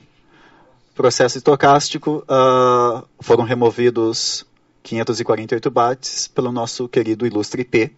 E aí as pessoas vão, poxa, poxa o que, que esse IP está removendo, né? Primeiro que elas já vão saber o que, o que, o que foi feito aqui, mas não dá para confiar, principalmente no IP. então as pessoas vão, vêm e clicam no, na diferença. Pronto, ó, elas conseguem ver de modo bastante claro que havia dois parágrafos que foram removidos. E elas podem logo em seguida ir na página de discussão e ver se aquilo realmente havia sido sugerido. Você copiou os parágrafos, né, Rafael? Agora a gente pode inserir eles no, na parte de exemplos. Aplicações? Melhor? Eu não, eu não faria nada, eu deixaria assim. Tá, é, então façamos. Clique em editar. A gente pode, não precisa clicar em cima do artigo, a gente pode editar só a seção, facilita, não fica aquela, aquele mundo de código para fazer a edição. Uh, e aí a gente pode tentar dar um pouco de coesão para o texto, né? Falar, sei lá, em termos de probabilidade, uh, existe pelo menos uma alternativa. Então, você pode dizer, for instance,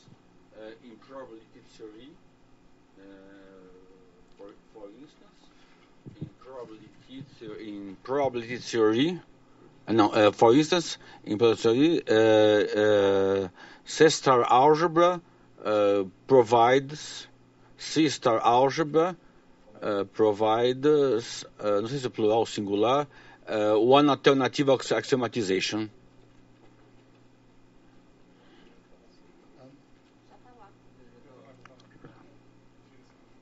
Alternative axiomatization. Uh, tira agora off a- até by means of expected values. By means, ficou by means. by means by means of uh,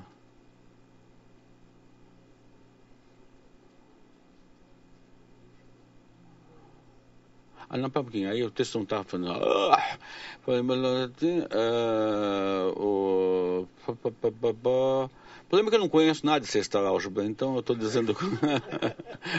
For instance, uh, sexta álgebra. Uh, axiomatization. Ponto. An alternative axioma- axiomatization. Provides an alternative axiomatization. Ponto. E aí você, você, você, isso. Em dois, que está em duas chaves, o que, que é? É um link? É um link. Então é, é- é um verbete. Deixar o link. É, deixa eu As ver. duas chaves indicam uma ligação interna Tá certo? da. E, a- a- É é. Rafael, põe a ligação lá dos Testar Algebra. Tem um link, tá vendo? Você põe essa ligação aí. Como está? O álgebra está junto, Rafael. Testar Algebra. E tem mais uma coisa. Barra C-star, né? Barra C-star, né? O que, que ele está dizendo aqui? O, o link que ele vai mandar à pessoa é o C-Star Algebra, mas ele vai exibir no texto só o C-Star. O, e- esse pipe, ele indica provides a alternative axiomatization to probability theory. Provides a alternative axiomatization to probability theory.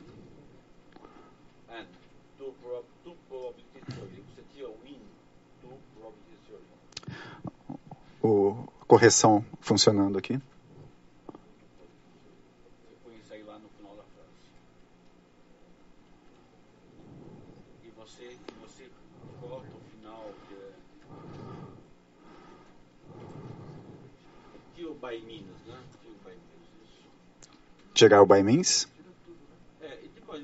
the method goes by the name of your fund. Ah, ti- tira essa fra a frase intermediária do parágrafo. Ficou razoável? Ah, eu acredito que seja o corretor do próprio navegador que vocês estavam falando. Ele está procurando, não sei se eu faria uma única, um único parágrafo, Rafael. Eu, eu, eu, eu mudaria o teu, o teu último no, no, no segundo. pode ser. Ah, só eh, remover o isso. tirar o espaço. Nós fizemos duas coisas boas. Tá. Mais uma vez, o sumário de edição seria uma ideia, falar ah, migrando, movendo a informação do artigo processo estocástico.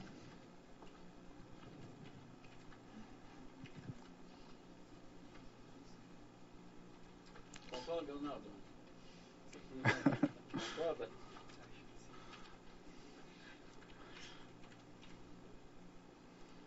Você não sabe, Sérgio, mas o, o Agente lá da central no, do, da Wikipédia Internacional. Ele está aqui só para ficar. Ah, é?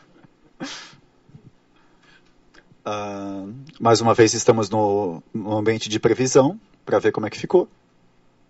Parece ok a todos? Bom, aí salvemos a página. Ah, uma outra coisa interessante, para além da gente observar essas alterações no mudanças recentes, que a gente já viu como é que funciona, suba a. Isso aí mesmo, Rafael. No, na, vai para o artigo primeiro, só para a gente não se perder.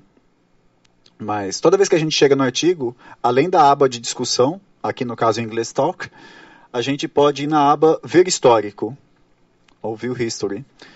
E aqui eu tenho 100% da história do artigo, desde a criação dele, passando por cada adição, cada vandalismo, cada teste, tudo. Então vocês podem imaginar um artigo, o histórico de um artigo como Dilma Rousseff, por exemplo, ou Aécio Neves. Há um histórico gigantesco de edições, de vandalismos, de inserções válidas e inválidas de informação nesse tipo de artigo.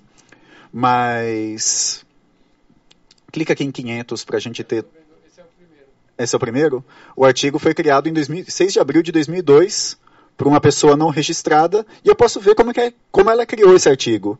Basta clicar em cima do. Ó, de uma maneira ainda bastante rudimentar. Isso foi o que a, como o artigo foi criado lá há mais de 10 anos. E aí eu consigo, se eu quiser, acompanhar todo o processo, edição por edição, até a nossa última, que também está registrada. Põe o latest revision, que foi a nossa.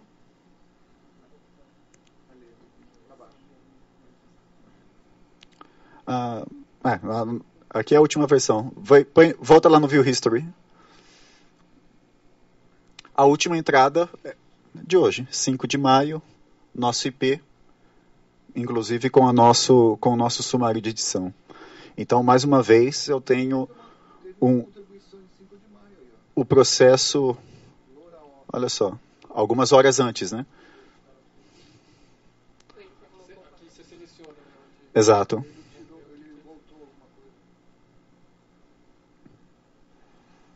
Ah, tá vendo? Ó, uh, eu falei para vocês que a Wikipédia, o, o, o, software dela diferencia maiúsculas e minúsculas e maiúsculas. Havia um substantivo aqui uh, de forma inapropriada grafado com uma letra maiúscula, ele corrigiu. Faz sentido? Foi uma, uma correção, um erro de português, por exemplo. Um, um erro de grafia. Isso foi feito ainda no dia de hoje.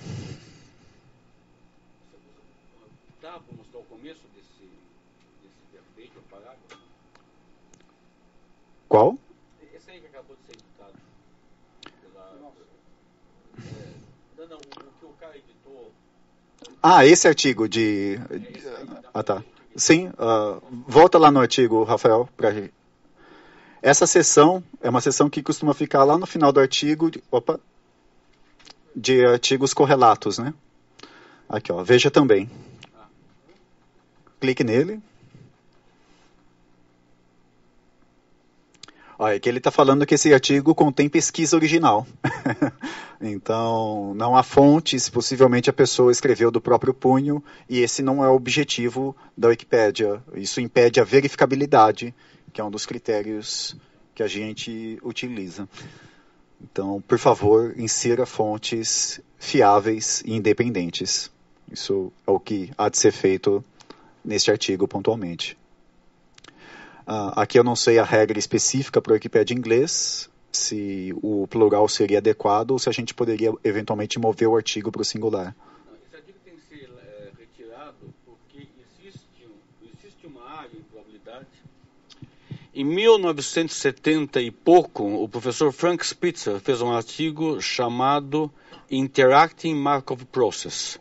E esse artigo deu origem a uma área importante da probabilidade com os nomes de Interact, Interacting Particle Systems, uh, Interacting Markov uh, System of Interacting Markov Particles. Ou seja, há uma área importante aí e esse bobão colocou uma coisa que ele não sabe que isso existe e está confundindo. Eu queria saber. Isso tem que sair daí, não tem pé nem cabeça isso. Isso é um, é um absurdo. Uh, tal como eu disse, navegando pela Wikipedia, a gente vai encontrar uma infinidade de coisas a serem feitas, a serem corrigidas, e também uma infinidade de material já pronto, adequado, etc. Uh, não.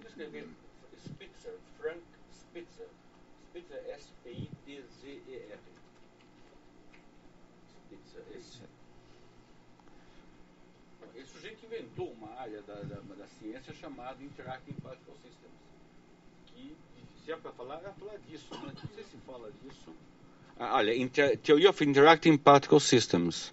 É, né? Interacting Particle Systems, lá na, na quinta linha. Na quinta linha. Quinta linha. Ah, Mais uma, mais uma, mais uma, mais uma. Pra cima. Aê! E vai para onde esse link? Clica aí, clica aí. Vai pro lugar errado. Tá errado. Mas é porque o link tá só o sistema de partículas. É, tá errado. O É, tá, tá errado, Rafael. Corrija isso aí. O link não pode ser isso. Mas vai ser aquele que estava lá? Não, não, não sei se tem. Acho que não tem, né? Se você escrever Interacting. Ah, esse sim. Esse sim. Esse, esse sim. Vamos falar um pouco de. encapsular o interact. Aqui a gente vai abordar um pouco de sintaxe, né? Então, vejam que muitas vezes o código wiki ele ah, é composto basicamente da abertura de uma instrução e logo depois o fechamento. Se eu quiser criar uma ligação para um artigo interno dentro da Wikipédia, eu uso ah, dois, dois colchetes, abro dois colchetes e depois fecho com o termo que eu quero que ele me leve no segundo momento. Ah, o, aí o Rafael tá. ah, o S ficou para fora porque o padrão da Wikipédia é no singular. Ele vai mostrar o S como fazendo parte do link, mas como o S ficou para fora, ele sabe que o termo que ele deve buscar é no singular e não no plural. Não precisa ser necessariamente assim, mas essa é uma, é uma das maneiras que podem ser feitas a ligação in- interna. E pronto, o Rafael corrigiu lá. Na verdade, ele ainda não salvou. Só conferiu se está ok. Corrigindo o link interno. Salva a página. E pronto, tcharam.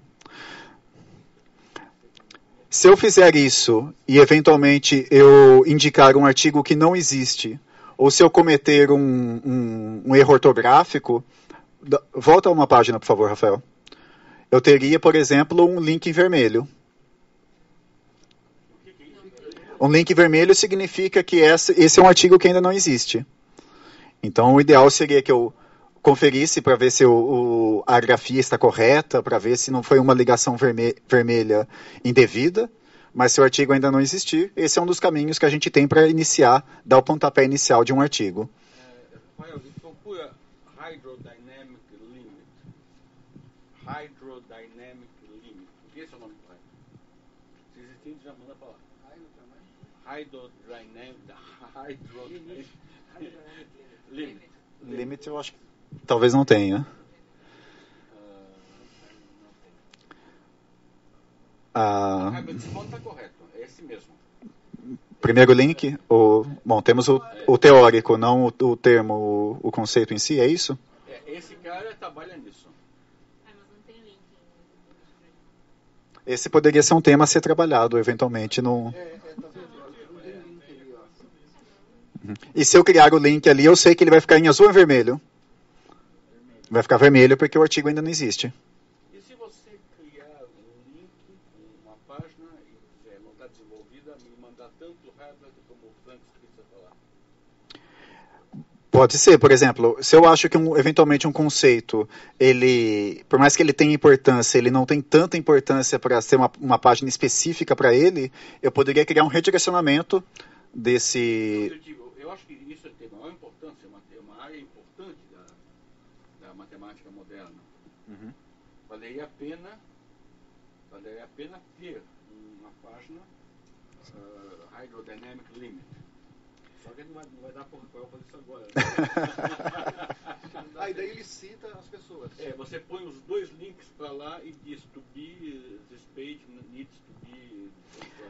Ah, hum, eu entendo. A iniciativa é boa, mas foge ao, ao padrão da Wikipédia. A gente espera que haja, no mínimo, um esboço de um artigo, mas não uma instrução do tipo: ah, consulte uma, uma mera instrução, consulte outro dos dois artigos, isso seria eliminado.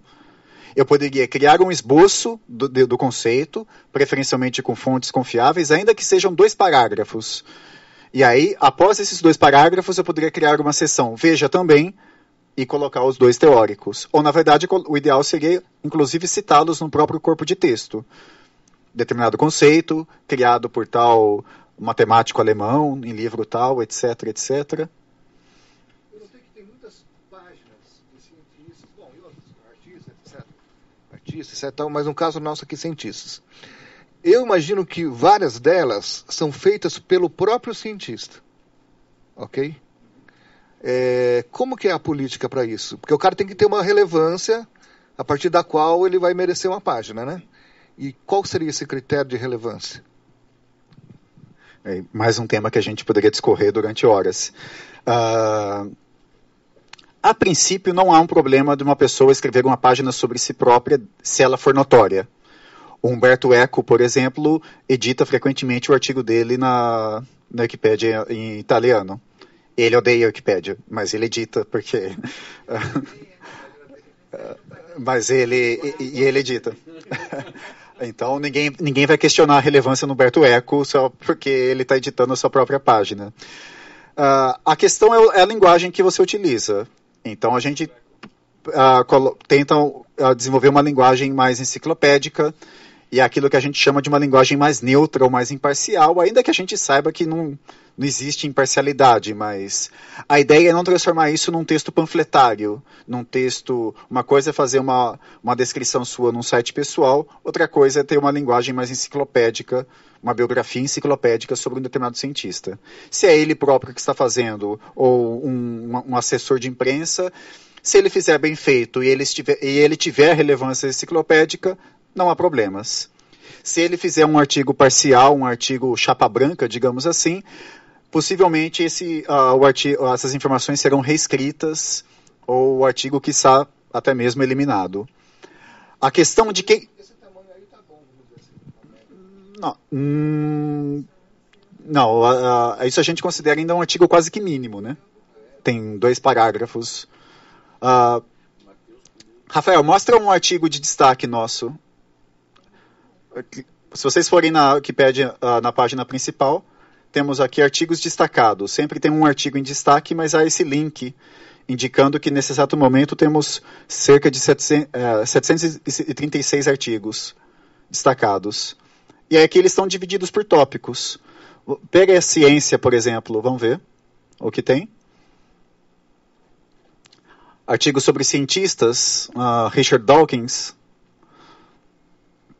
isso foi considerado um artigo de destaque. Dá, desce um pouquinho, Rafael, só para a gente ter uma ideia. Um artigo de destaque que é, é, é, um artigo que a gente almeja que todos os artigos da Wikipedia um dia estejam. Uh, aí a gente teria que ver o histórico. Podemos ver o histórico.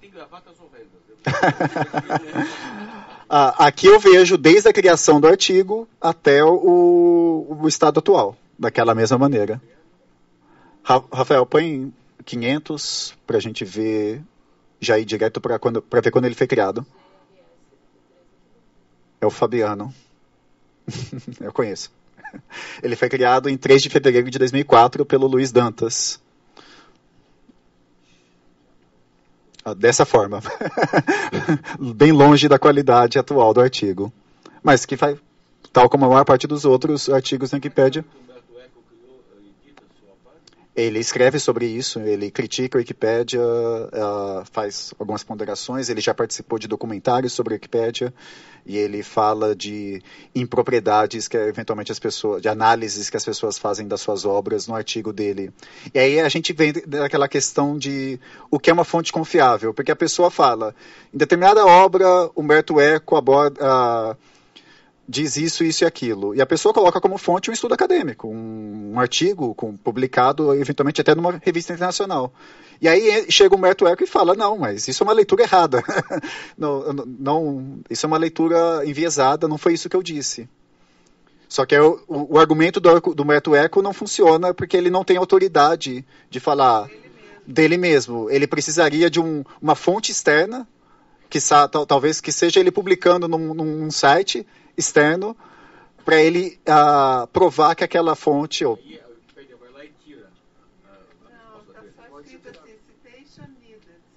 Exato. Isso é um processo curioso. Mas, voltando à questão da relevância enciclopédica, vou utilizar vamos pegar então exemplos aqui. Ninguém discorda que o Richard Dawkins, e não estou analisando aqui a qualidade da, da, produção dele, científica dele, tá? Mas acho que ninguém discorda que o Richard Dawkins ou Stephen Jay Gould uh, teriam um artigo na Wikipedia. Ok. Uh, e acho que também ninguém discorda aqui que um aluno de iniciação científica uh, que acabou de abrir sua página no Lattes não vai ter um artigo na Wikipedia. Ok, esses dois casos, esses dois extremos, digamos assim, uh, não geram controvérsia. Mas o, no, o nosso desafio é estabelecer onde que está o ponto de virada. Quais são os critérios que a gente pode estabelecer para definir quem fica e quem sai da Wikipédia? Se eu pensar em termos de jogador de futebol, eu tenho no extremo Pelé, Maradona, Ronaldinho, no outro extremo um jogador de várzea, de um campeonato de final de semana, mas mais uma vez, onde que está o meio termo? Aquele cara que acabou de ser contratado por um grande time. Então, é, são essas zonas cinzas que a gente tenta estabelecer alguns critérios de notoriedade, por exemplo, livros publicados, mas aí você pode falar, não, eu pego 5 mil reais, chego para uma editora e publico um livro, publico a minha tese. Isso faz de mim digno de um artigo na Wikipédia? Não de maneira automática. Então, há uma série de nuances aí, uma, uma zona cinza, que em última análise a gente debate. Quando alguém cria um artigo controverso, em que não está em nenhum dos dois extremos, o, claro, o que fica de modo claro ou o que sai de modo claro, a gente coloca em discussão. Tenta chegar a um consenso ou, em último caso, votação. Isso fica ou isso cai fora. Professores, por exemplo, professores da USP, muitos deles têm artigos na Wikipédia. Mas será que todo professor da USP vai ter um artigo na Wikipédia? O cara que passou no concurso semana passada vai ter um. Pronto, agora ele tem um artigo na Wikipédia? Não é assim automático. Se todos da USP teriam, por que não os da Unicamp? Por que os não, não os da Unesp, da UFSCar? Por que não os professores de universidades particulares? E aí, mais uma vez, eu chego a essa zona cinzenta que é difícil de ser uh, uh, estabelecer critérios objetivos. A gente tenta criar alguns critérios, mas nem sempre eles funcionam. Se eu digo que para uma banda ter um artigo na Wikipedia, ela precisa ter vendido determinado número de discos, se vocês pegarem esses fenômenos como funk carioca, que trabalham numa outra dimensão, a parte da indústria fonográfica, esse critério não serve. Mas ainda assim eu reconheço no funk carioca, não tipo um gênero de música que eu goste, mas um fenômeno musical relevante e importante que deve ser descrito dentro de uma enciclopédia. Há controvérsias, né? Há controvérsias. Mas só citando um exemplo, que toda vez que eu crio um, um, um critério objetivo, uh, esse critério às vezes encontra situações de exceção. Ah, Músicos de funk de ostentação, maravilhoso. Nem sabia que existia uma categoria como essa.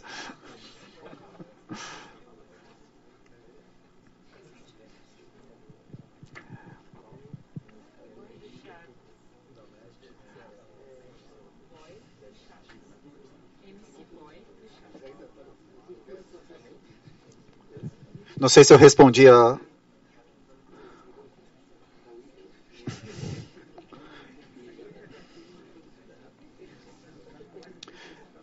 Não sei se eu respondi a sua questão.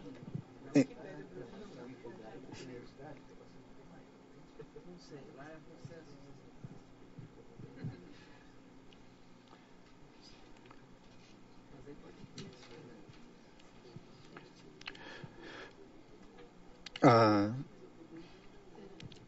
a, a proposta inicial que eu havia sugerido no início era de que a gente criasse um artigo do zero e que a gente terminasse isso por volta das quatro horas corrigimos. Eu acho que vocês tiveram uma dimensão do processo de edição, mas talvez não de forma, uma forma tão pontuada, digamos assim, começo, meio e fim. Mas uh, não sei como temos horários, mais perguntas. Temos um artigo do Neuromate?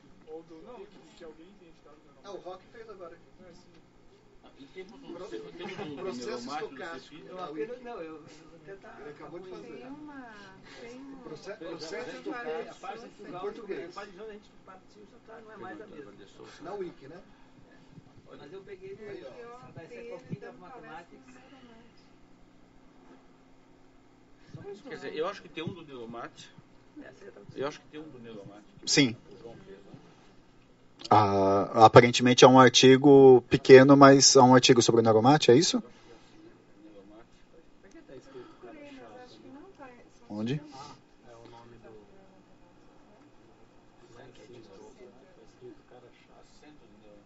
Ah, tá. o login. Uh, é, outra peculiaridade da Wikipedia é que às vezes você encontra uh, excelentes edições feitas por não uma, um nome uh, comum de um, de um cientista ou algo que o valha, mas logins como aquele caso, esse caso, um cara chato ou macho carioca, que é um, é, é um grande contribuidor de artigos sobre história, história militar pontualmente. e apesar do, do, do nick, do login dele ser um, algo bastante informal, as contribuições dele têm uma qualidade de, de pesquisa, excelentes fontes, e ele lida principalmente com temas acadêmicos. É, é curioso. Olha, então tem, tem, tem, tem, tem um. Uhum.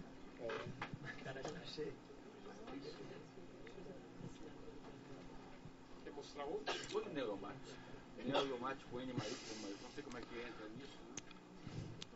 É. Neuromate já está aí.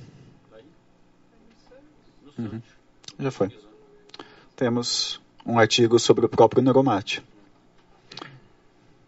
Aliás, temos um artigo sobre Antônio Galves, aparentemente. Podemos vandalizá-lo.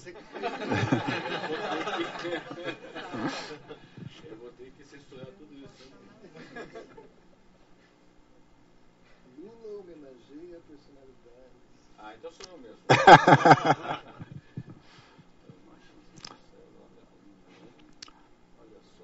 Uma atividade que podemos conduzir amanhã é azular esses links, como seleção estatística de modelos, memória de alcance variável e teoria do cérebro.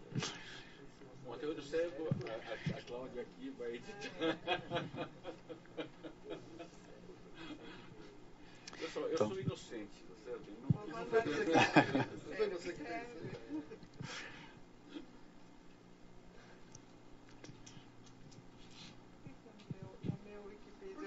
Por que que está aparecendo toda hora integral ali? Ah, isso é uma marca d'água. Ah, não, a, a gente tentou deixar bonitinho o a, a infobox de cientistas. Então, ah, é. Uhum. Como a ciência está muito ligada a essa ideia de ciência dura, ciência exata, é uma infobox geral para cientistas acharam boa ideia colocar uma linguagem matemática no fundo ainda que isso talvez não seja tão adequado para outros casos de cientistas. Mas também passível de discussão, basta que eu entre no, na página daquela predefinição, daquela infobox, e faça a sugestão. Olha, que tal a gente imaginar um- uma outra imagem, uma outra marca d'água, ou remover a marca d'água? E aí. Possivelmente ele existe. Aqui, ó, uma indicação, inclusive, quando a pessoa ganhou Nobel. Essa é a predefinição sobre cientistas.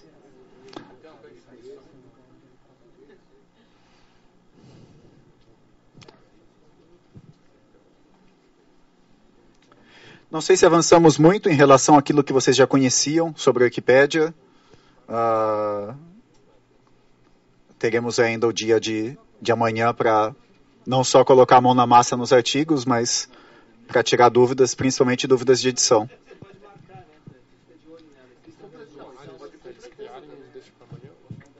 Ah, a minha sugestão, como eventualmente há um controle na Wikipédia para evitar ataques em massa, por exemplo, um- um mesmo IP criando inúmeras contas, alguém, um- uma pessoa com capacidade de programação poderia criar um script, um, um, um pequeno programinha de computador que para vandalizar a Wikipédia em massa, a gente criou uma série de mecanismos de proteção do sistema. E isso poderia impedir, ou dificultar pelo menos, que todos vocês ah, consigam criar uma conta de usuário ao mesmo tempo aqui, usando o mesmo IP. Então, a sugestão que eu faço é que vocês façam isso em algum momento em casa, tentem criar a sua conta de usuário e, quiçá, até começar a fazer algumas edições, brincar um pouco mais na Wikipédia, para que vocês já cheguem aqui amanhã com a conta já, talvez até logada no, no computador, no tablet, seja lá o que for. E aí não, a gente não teria esse problema de muitas pessoas tentando criar uma conta com um mesmo IP.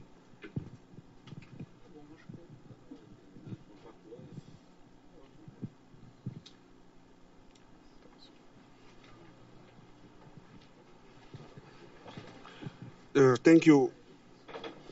Please, um, I see that Wikipedia is a very, uh, I can say that a big source for, for information, particularly for scientific uh, information. But I have a problem some years ago. Can we uh, use Wikipedia as resources in scientific work? Can we cite Wikipedia?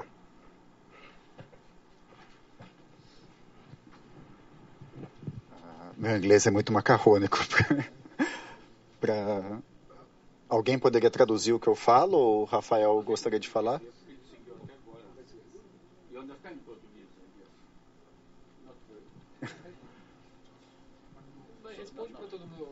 Tá.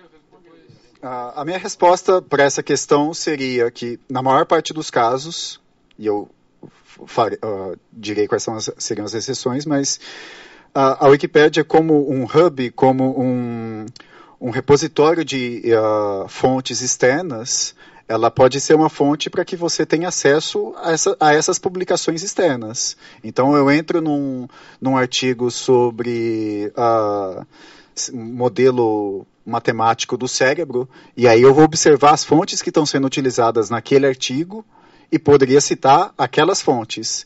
E eu cheguei até elas através da Wikipédia, mas eu não vou citar a Wikipédia em si. E aí eu questiono a validade de cada uma daquelas informações. Oh, a pessoa está citando determinado teórico, aquela pessoa está citando determinada revista científica, e eu vou questionar a relevância de cada uma dessas fontes. Que eu chego a, até elas por meio da Wikipédia, muitas vezes de um modo mais fácil do que indo diretamente a, a bancos específicos de, uh, uh, de informação científica. E, nesse sentido, a Wikipédia acaba sendo uma ferramenta bastante útil. Poderia citar a Wikipédia pontualmente, uma vez que a Wikipédia também é objeto de estudo no meio acadêmico. E aí faz todo sentido que você a Wikipédia em si é o objeto e você vai citar a Wikipédia. Há inúmeros casos uh, em que a Wikipédia, não só no, nas ciências humanas, mas inclusive na, nas áreas de exatas, uh, a Wikipédia é um objeto de estudo. E aí a citação da Wikipédia é mais do que necessária. Okay, so what he said in general is that he wouldn't recommend to refer to Wikipedia as a primary resource or reference, just because Wikipedia is itself a hub. So it's a place in which you um, gather secondary information. So it would be a starting point toward uh, valid references that you could take advantage of, but you wouldn't make reference directly to the entry on Wikipedia. On the other hand, there are many scientific articles nowadays that are on Wikipedia. And of course, in these cases, you would use Wikipedia as a primary reference just because you are studying Wikipedia itself. Então, é, pessoal, eu agradeço a atenção de vocês, o Célio, é, o Moretti. E amanhã a nossa dinâmica ela foi um pouco modificada, então amanhã a gente vai tentar rever um pouco como é que a gente faz essa oficina de edição para dar um pouco o gosto prático de vocês. Convido vocês todos, se puderem, trazer os seus dispositivos para serem para fazer a edição amanhã, criarem as suas contas, vejam o material que o Célio produziu de Wikipedia às vezes tiverem tempo e amanhã a gente faz então mão na massa, vamos melhorar esse conteúdo sobre é, álgebra C, estrela e von Neumann e afins. É isso,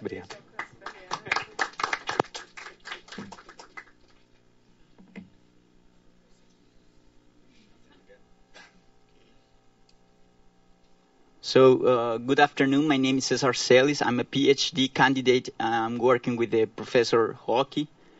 And today I'm going to present uh, some project I started to work in my PhD, then I changed to, to other idea, but still I think that it is, it is worth.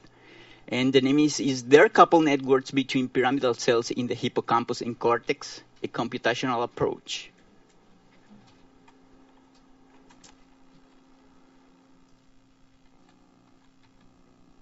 So, first of all, hippocampus and cortex, there are two regions in the mammalian brain. And as you can see in this slice, yeah, this is the hippocampus. And in here, you can see also. And the cortex is all this region in the surface of the slice. And interestingly, in, in both the cases, in the hippocampus and the cortex, the neurons are distributed in layers. And uh, as you can see here in the hippocampus, all these dark line are the soma of the pyramidal cells, the hippocampus, and also in the cortex, they are distributed in uh, most of the time in uh, most of the regions in the in six layers. So what is important is that they are really close to each other. They are tightly packed. And in here, using fluorescence, you can see the soma of the neurons. And also you can see uh, the other structure of the neurons, as the dendrites and the axons. And um, now I'm going to talk about the high frequency oscillation that is a phenomenon that uh, it is possible to record in, in the hippocampus and in the cortex. You can see in this signal uh, this part is the high frequency oscillation. And what is interesting is that uh, apparently chemical synapses are not necessary for the generation of HFO. But using electrical synapses blockers, the signal disappears. So um, uh, this suggests that there is uh, some uh, important for the apparently is necessary the the presence of the electrical synapses. So it has been suggested maybe that HFO are generated by networks of coupled pyramidal cells. But the thing is that um, this.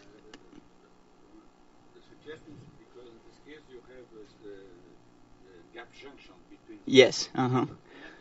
Yes. So, but the thing is that, yeah, the thing is that uh, it is extremely difficult to see gap junctions between pyramidal cells. That's the problem. Um,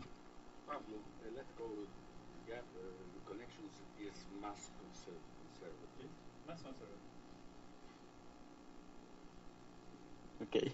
So, uh, using computational simulations, have demonstrated that large coupled uh, networks of pyramidal cells uh, connecting the neurons in the axons, they might support the generation of HF, HFO.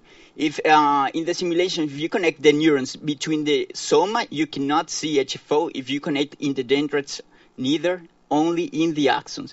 And you can see, uh, for example, this is uh, an image of an experimental data. You can see two somas of pyramidal cells uh, from the cortex, and you can see that in the case of those two, neuron, two neurons that they are actually coupled, you can see that in three regions the axons are touching to each other, suggesting that it, maybe there are some coupling between the axons. In this image also you can see two pyramidal cells and they are very close to each other and also they are electrically coupled. In this picture you can see using a technique that is called dye coupling.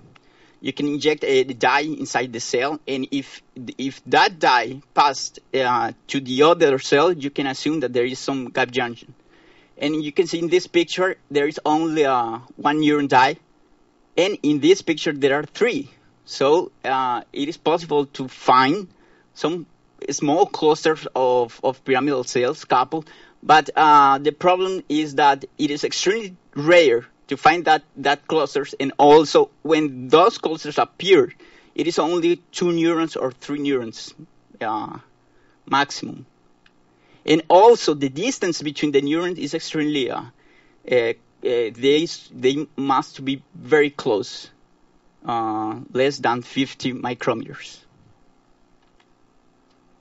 So why the HFO is so important? Because in the case of surgery for uh, intractable epilepsy, uh, what the, uh, the surgeons do is that they try to find uh, the seizure focus. So using EEG, they put some electrodes and they're trying to um, they record signals from different part of the brain. And if they can see HFO, they assume that this is a, a seizure focus, and then they remove and it has been uh, shown that there is a strong correlation between resection of an epileptic focus tissue and the cure of the epilepsy. But the thing is that there is no um, biological mechanism to explain the degeneration of the H- HFO. So the conjecture is that epilepsy is mainly due to, to electrical synapses? No. What, what, the only thing you can see is that the seizure focus, uh, they uh, it shows HFO, and apparent, there is some relation between HFO and uh, the generation of of, of uh, seizure focus, but nobody knows why. So, uh, using some computational models for the HFO generation, it has been possible to to propose uh, using large network of coupled axons that they allow the propagation of spontaneous spikes. In that way, you can produce HFO. Imagine one neuron at a time is uh, firing with a very low rate. So now, if you allow the propagation of all that signals, you can uh, generate uh, high frequency oscillations. But the thing is that uh, in order to do that kind of uh, simulations, you have to assume the existence of such coupled networks but there is no experimental evidence supporting that assumption. So I, I, I try to. So the objective of, of the project is to establish the connectivity rules that might allow the generation of large coupled networks in the hippocampus and cortex. Just thinking theoretically. And the justification is that the, currently it is extremely difficult to establish the topology of sparse networks at the beginning of my PhD, uh, when when I did my master degree, I worked with the professor Hockey uh, doing um, modeling, and then I in my PhD I started to to do patch clamp, and the first thing I tried to do so I tried to find couple networks, and it was extremely difficult, and I never uh, found any kind of of couple neurons. So I, I realized that it is actually extremely difficult to find that kind of, of, of neurons, but still there are important papers published in Science, Nature, and other uh, important journals showing that actually they are coupled. So, um, huh? Maybe, but they, they are very uh, important scientists. And yeah. Um, so I was thinking, what, what, what is necessary to it is necessary to establish the existence of large networks in order to, to propose the generation of HFO um, based on the on the uh, on the gap junctions. So, um, and this work interacts with NeuroMat in the sense that it provides a computational framework to study large networks of electrically coupled neurons that it is very important and it is a new branch of the uh, neuroscience. Mostly, all the neuroscientists are trying to find uh, um, the coupling between uh, chemical synapses, and they neglect electrical synapses. So the first thing I did was uh, just thinking of simple theoretical analysis. So I tried to um, I built uh, a network distributing neurons in a 3D space homogeneously and randomly, just using two kinds of motifs. In one motif, one neuron is able to connect to be able to connect to the other neuron, just that, and in the other motif, uh, one neuron is able to be connected with other three neighbors. Only that, only one and three. And uh, just showing showing uh, an example, uh, two motifs that do not contribute with the formation of large couple networks are these. One neuron connected with only other one neighbor, so it, it is forming an isolated pair. So it is coupled, but it is not inside of a large couple network. Another example is this one. One neuron connected with other three that is only connected with, with one neighbor. When you put one and three, what do you mean? What, what, what The number of neighbors. as a number of neighbors, it's not Yeah. the neuron number one. No, it means how many neighbors is connected to. So one to one, right? So when you write three, one is because the one in three has three neighbors. Yeah, and each one is connected with only one neighbor. So the only configuration is that. And in that case, uh, you can see that the coupling with one neighbor isolates. So it is not useful to be connected with only one neighbor. But as, as I already said in the experimental data, it is the, most of the time you can see a cluster of couple neurons. It is only two neurons. So apparently this is the most popular configuration in the in the uh, in the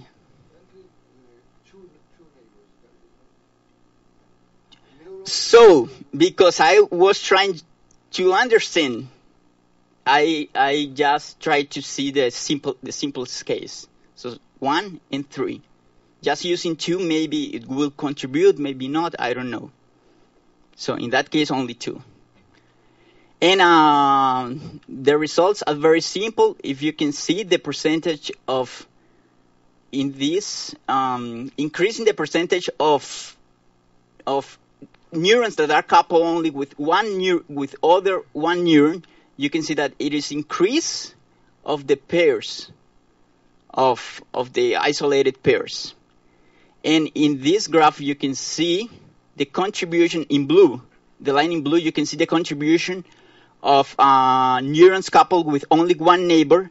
That it is it is contributing uh, with the large couple network, and you can see that it's less than 20%. And the uh, green line, it is the uh, the percentage of neurons that are coupled with three neighbors that are inside of a large couple network. So it means the uh, the neurons that contribute more with the formation of large cl- clusters are the, the neurons that are coupled with three. That is not surprising, right? But this help uh, help me with the next step that is using uh, computational simulations. So now I will try to put some realistic scenario. So in order to do that, uh, because my uh, I was interested in uh, finding that kind of networks in the hippocampus and the cortex. So now I'm trying to put the neurons in a 3D space using a neuronal density, as you can see in the hippocampus and the cortex. For the case of hippocampus, it means 3,000, uh, 300,000 neurons per millimeter cube. And in the case of cortex, is uh, less, uh, 50 uh, neurons per mi- per millimeter cube. And also the rule of the, the rule of connectivity because I'm trying to connect it in the axons. So each neuron can be connected with other if they are uh, if the distance between them are less than 50 micrometers or 40 micrometers, that is the, the distance of the axons. And that's it. I just put some neurons, just points in the space, 3D, homogeneously, randomly, and just let it connect it just only with one neighbor or three neighbors.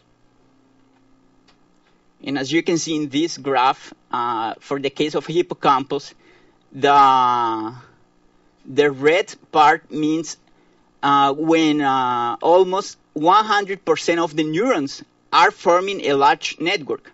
So you can see that in um, in most of the graph, it is easy in the case of the hippocampus to form a uh, large couple networks. And this is uh, easy to explain because of the high neuronal density. But in the case of the cortex, it is extremely difficult to form a, a large couple network um, uh, spreading the, uh, in the whole cortex. So you need more than 50% of the couple, more than 50% of the neurons being coupled, and also those neurons that are coupled it must be coupled with, with other three. that it has been extremely rare to find in the experimental data. That's why um, um, it is so amazing to, to see that kind of result.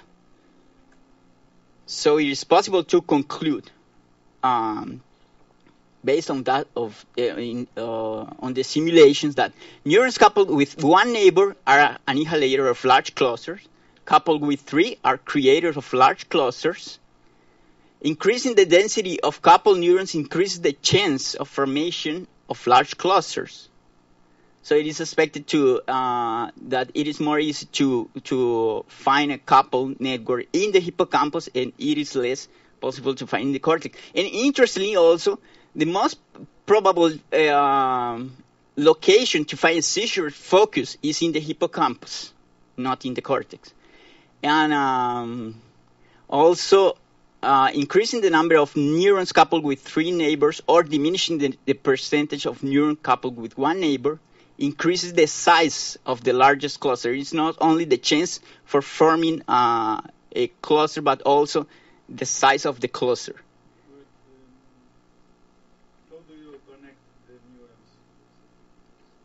I just I just connect the neurons randomly. I just put the neurons in a location, and if they are inside of the radius, if they are they have some distance, less than 50 micrometers, 40 micrometers, and uh, there are some chains to be connected, wow, and a half, or something like that. What is a large cluster?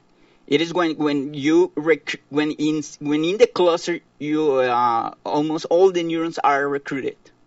So you're forming an, only one network, not small, not uh, separated clusters. That it is on that it is also possible to to build. And uh, the most interesting conclusion is the, the syncytium, that it means a large couple network as the heart.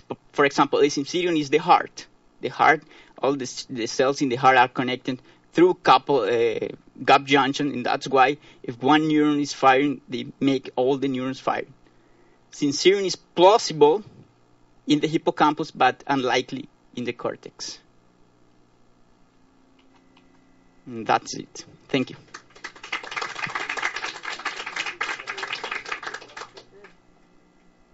Questions? So I, I was.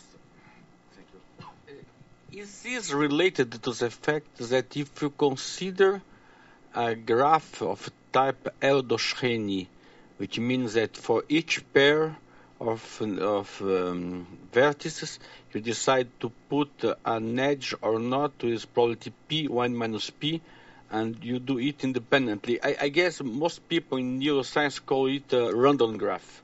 It's an Eldoshenyi. So in Eldoshenyi, you, you have a criticality phenomena. If uh, P is, uh, so there is a critical value. So under the critical value, you, you only have uh, finite clusters, very small, and above you have a giant component. Is this related to what you said? Yes, of course. But uh, so I'm not very familiar with that part of the mathematics, but in the physics, you can see that as a percolation case. Yeah, the neurons are located in a 3D space. It's a percolation of sphere. Yeah. But uh, the number of, of neighbors is fixed in one or three. It's more complicated. Uh, the number of neighbors uh, is one or three. In, in a general percolation problem, uh, it, it can. Uh, so, it, it, so the neurons are there, and you see a, a, a sphere around. Yeah. And if you have an intersection, you you can put a connection. That, put only. Your condition, your condition to three or one. Yeah. How, how, how to do this? Using computational simulations. But you use also probability, no? To, to establish the pattern. It's difficult to, to simulate that. Hmm? How do you simulate that? Well, I just programmed an algorithm in MATLAB. Ah, okay. So I put first I put the the, the, the neurons in some location, right? And then I put I I took one neuron, and then I can see all the neighbors inside a radius, inside a sphere. Those are all the possible neighbors, and then I just let the neuron to choose three or one depending on probability. But they must choose three or one. The probability of yeah, it is in the per- in the, the percentage of neurons that you want in the in the in the uh, the whole network. Suppose you have 10. You have 10. 10. So you have a neuron here, you have 10 other neuron neighbors. How do you do? If you assume that you have 10% of neurons that only might be coupled to all the, to other one neighbor in in in the vicinity, You have 10 neurons in your simulation. It just happens that you have 10 neurons in the ball. And then you must decide if you allow one connection or three Yes. connections. Uh-huh. How do This is a do it? parameter. It's a parameter. What I'm controlling. of neurons with a single single neighbor? It's a parameter. Can I ask a question? When you say, maybe, I don't know, do I need that? No, you can speak out loud.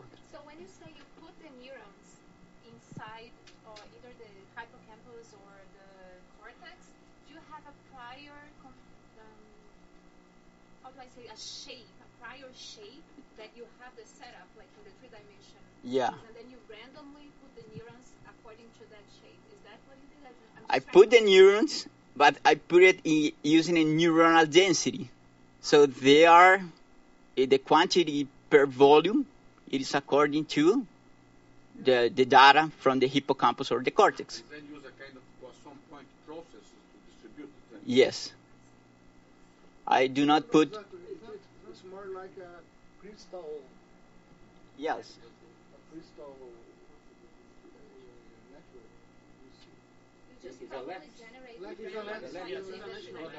yeah, filling the space, yeah. But if it's a lattice, the number of neighbors is fixed.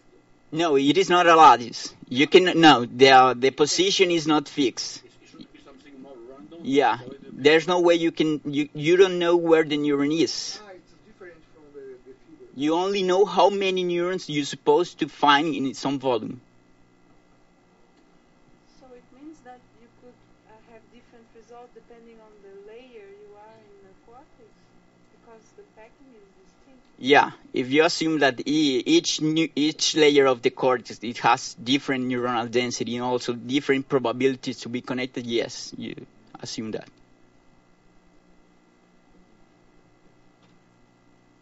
Well, you need, uh, you need to make uh, the, the link with percolation theory more strong. Because Uh, several Yeah, yeah. Actually, I I, I try to. of the sphere, Yeah. There you uh, mean results exact. There is uh, numerical very exact results, and the, all these PC uh, threshold, etc., etc., are in are in Wikipedia. Uh-huh. okay?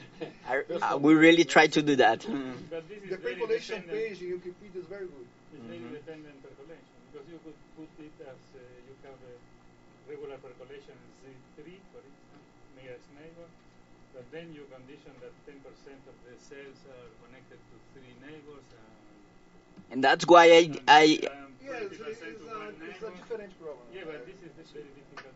Yeah, that's very, very tough. Yeah, this is very dependent. that's why I, I just I just um neglect the two the the connection with all other two neighbors. It just was bothering me, uh, annoying me. Why not? Yeah. The two case, two neighbor case. Why not? Because it is more irregular. It is more difficult to predict the the the, uh, the result because the two, when there are neurons coupled with other two, they they can help to construct a large network, but also they can isolate other clusters. They are doing both jobs. Finish. And also they form loops. Yeah, yeah, yeah. Mm-hmm. So thank you. Andrea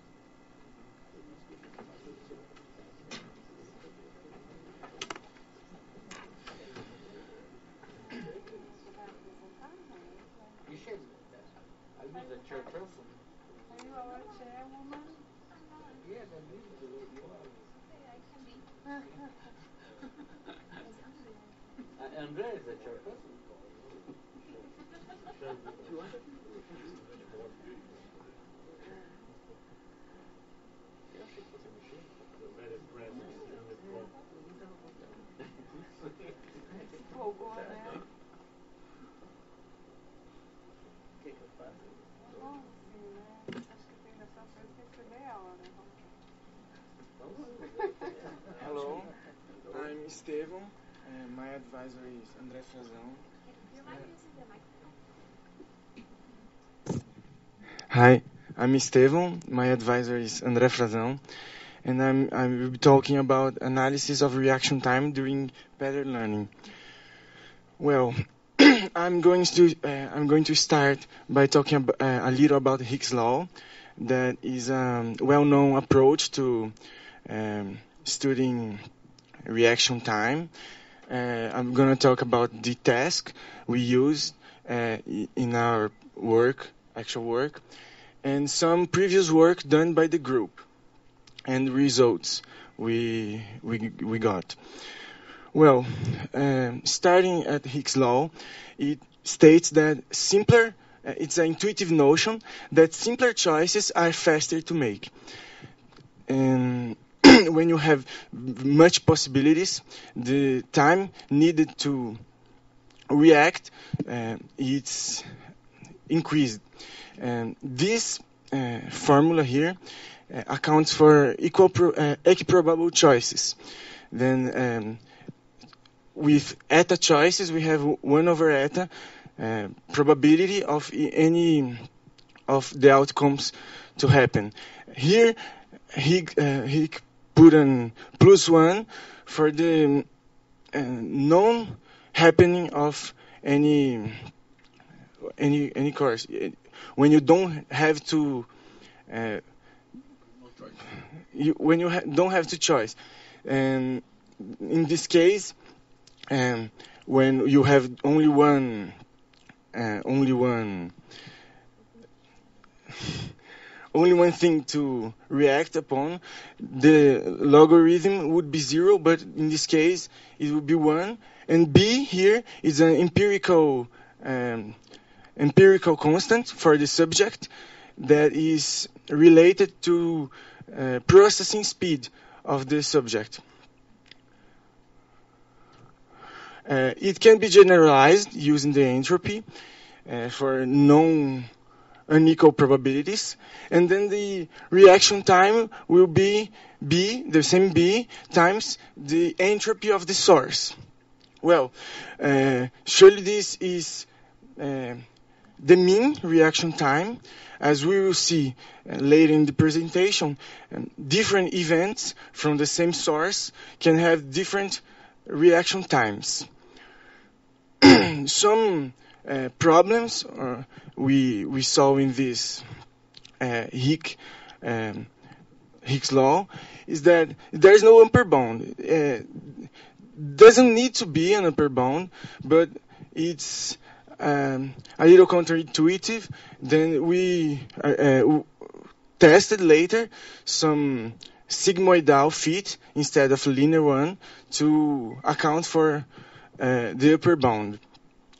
And it takes no account of the learning process because the reaction time is um, purely defined by the entropy of the source and doesn't change um, in the course of training. Uh, the subject could be responding to that sequence uh, for a long time and the uh, reaction time would be the same. Well, the task we used is like this. We have a monitor and two mouses, a one-to-one relation to, uh, of buttons to marks on the screen. And the reaction time is the time between the marking of the screen and the pressing of the uh, correct button. Well, uh, here I put an example when, where the sequence 2 and 3, a very simple one, and here we see 2, 1, 3, 2 again, and it will be 1, 3, and this is one example of a very simple and fixed sequence, and it will be very strange that the reaction time didn't change during the course of training because, well, three times you did this, you you would be you would know what the next button would be, and then you would press very, very fast. Well, Pavon, a member of our group, did some work testing sim sigmoidal fits, as I said before, to compare with linear, and using very simple sequences to see the learning. Well, here we have some examples. uh, the sequences used in, used in this work. Uh, there were some complex but fixed, simple and very simple fixed. The random, um, we couldn't have the same mark two times in a row, so, so it's not really random, as Galvis always said to us, but it's a um, first order Markov chain. Uh, we, we call it random sequence. And the entropy we used uh, to calculate the correlation uh, wasn't the real entropy, as the real entropy in these fixed sequences would be always zero, correct? Then we use some other approach to entropy, using some order of previous events. Um, and the result we got first the learning phase we can see here for the fixed sequences. The bottom three are also the bottom three here in the time response later in the uh, in the sessions. Uh, the uh, procedure was divided in, into blocks of uh, 180 uh, pressing of buttons, uh, 80, 100, I think. Well, this is the mean time response for that sequence in each block, and we see there's a fast decrease on the course of the first blocks for the um, fixed sequence sequences and also for the simple probabilistic sequence we will see that uh, later again. Uh, here we have a random uh, in, uh, random sequences for all the subjects in the first four, five blocks and the later five to account to see if um, just to make a control and see here that they all come to the same time response again. Well, the sigmoidal fit was better. He did better than the linear fit. Um, the joint entropy was, well, let me, was the accounting for the joint probability instead of the conditional probability using some previous events. Um, and it did better, uh, which um, um, make us think that maybe the law, Higgs law, isn't so accurate. We could do better, maybe. But there are also some um, some things missing because the entropy fit explains the variance, but doesn't explain the learning process.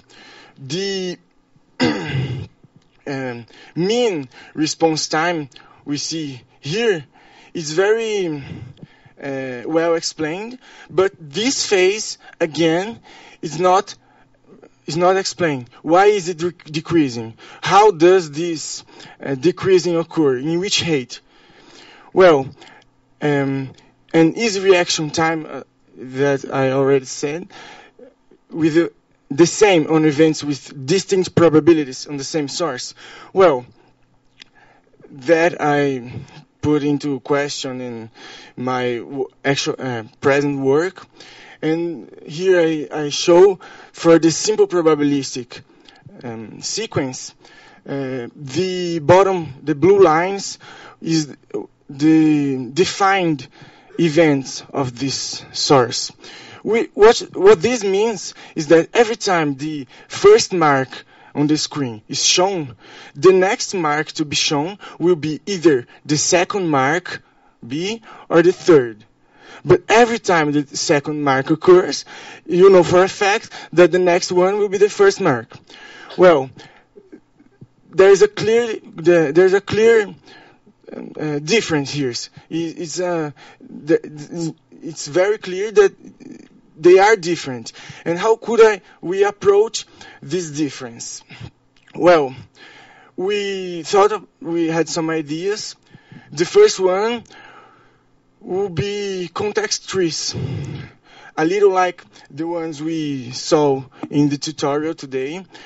Then I put a context tree here of this sequence up up there. Well, I'm gonna walk you through this this tree for to we for you to see what it really means. Well, every time a, a two is shown, there's a four.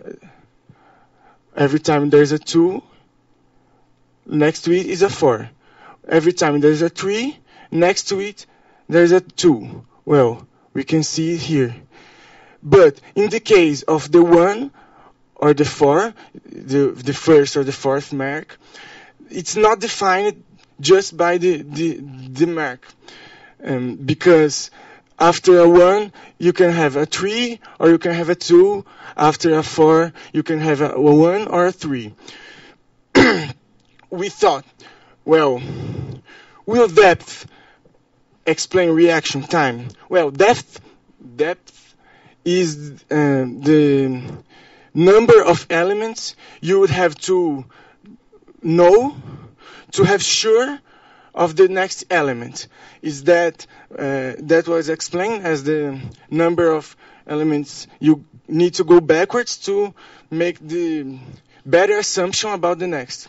Well, uh, no, we do, uh, we haven't got any correlation that would show, show itself significant, but this was already expected because the depth is very is a very simple um, measure. And well here the one here and the one here the fact that there is a one here makes this one easier to predict because if the person would only go one step, it oh, uh, one step backwards, it will uh, already think it's a one go, coming next, and this, if is uh, of if it's um, if it is an one, then it will respond faster. Well, what uh, uh, where we are now uh, thinking about how to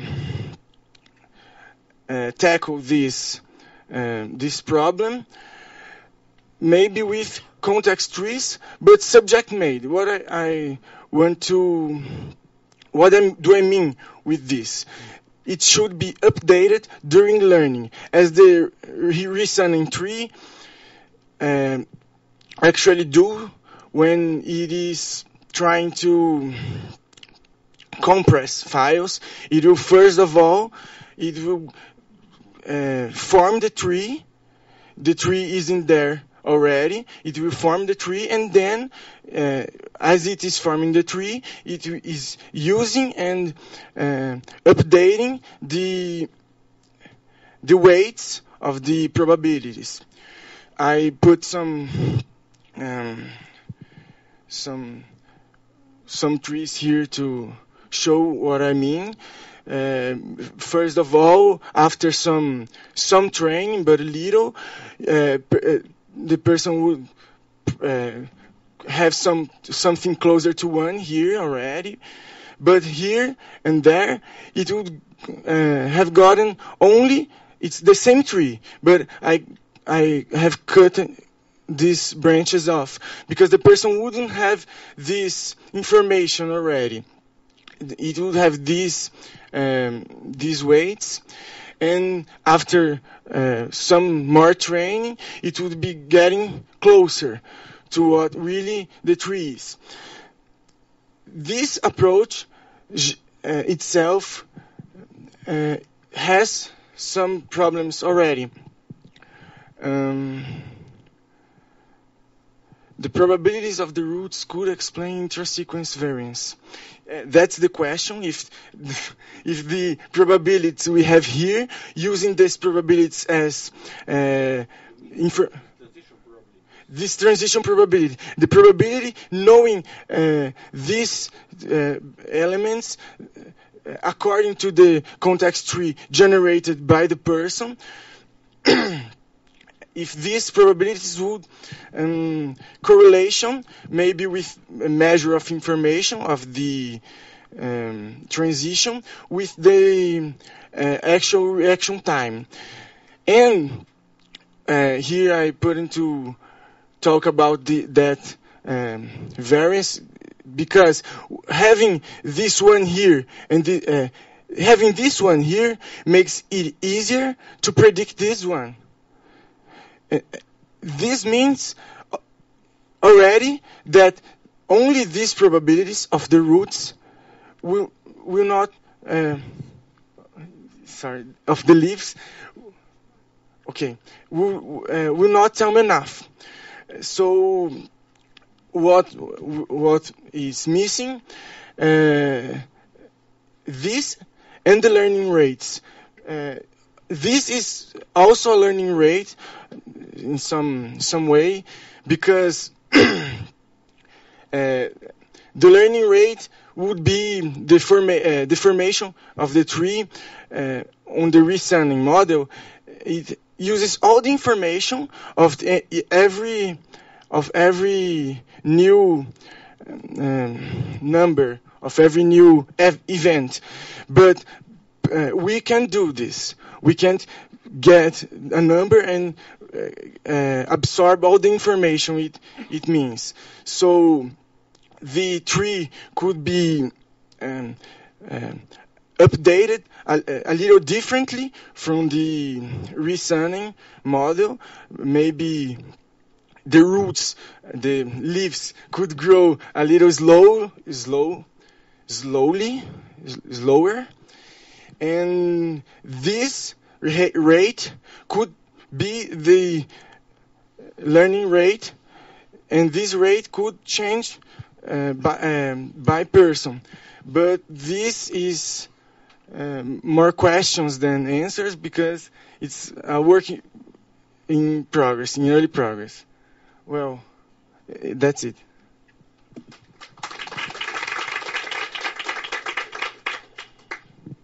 Questions?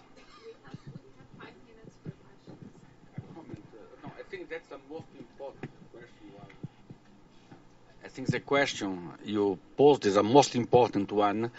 And it's interesting because you can imagine the following. You have all the statistical model selection algorithms, the one by reasoning and others. And well, it's not clear that the brain does the same thing. So it would be very interesting if you, you could relate the learning rate of uh, the algorithm context or a BIC or the one uh, with the rate in which the learn the, the brain learn. Probably the brain is more clever than our algorithm, but we don't know. I think that's the most important question. And it could be related to so many things. The number of leaves or the depth of the, the, the, the, the height of the tree or maybe the entropy of the process generated by the tree or maybe all these at the same time. We don't know. We just don't know. What do you mean about? Well, uh, the, the algorithm recently, when he introduced the model, he also introduced an algorithm to identify the tree. So if I give a sample, and essentially is you get you get the biggest tree, and then you start pruning, and well, and then there is vari- uh, variations, BIC, and so, but we don't know, and we don't know if the brain does this. Probably not. Well, uh, unfortunately, you, you didn't uh, see the tutorials this morning because the conjecture is that the brain does it. The brain identifies the tree. There is a famous French mathematician, no, neuroscientist, which wrote um, a, um, a diffusion paper named uh, "Is the brain a statistician?" And probably that's exactly what it is. This is conjectured by David Mumford. We don't know how how it does, but that's a conjecture. So I think it's the most important question. If you have results in this direction, to be great. So what would be the expectation? You would expect that you start with a, a tree with many leaves and branches, and then you start pruning, and this is what reduces your reaction time. This is what you're thinking. Well, um, what I was thinking was starting with that little tree with only the first branches and leaves, and what would um, diminish the reaction time would be the perfectioning of these um, these probabilities um, and separation of this one of this one, for example, um, these probabilities would be closer than the uh, closer to the real probabilities. Then and then this would um, make the reaction faster. Then well, it's it's this. May you show the, the first the, the, this one? Uh, do you know the following? If you have the stimuli uh, being produced following this tree, and then you evaluate. So let's suppose the p prime and p are the same, just to simplify. Okay. Just have one parameter. Is it true that the uh, learning time t uh, increases as p goes to one half?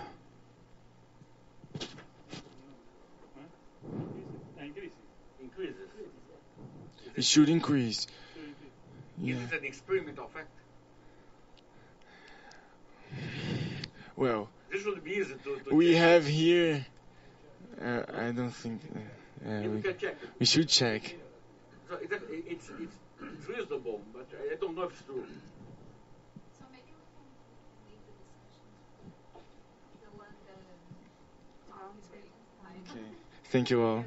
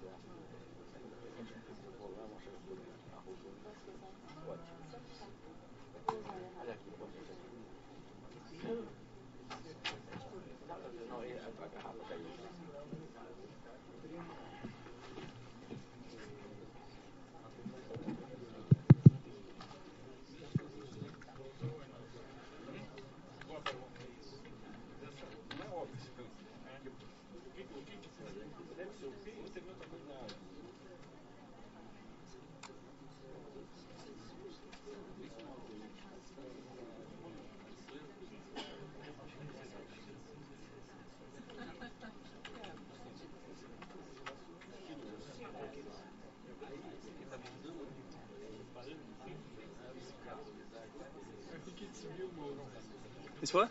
View mode. Uh, view, that's view. Ah, I see. I see. F11.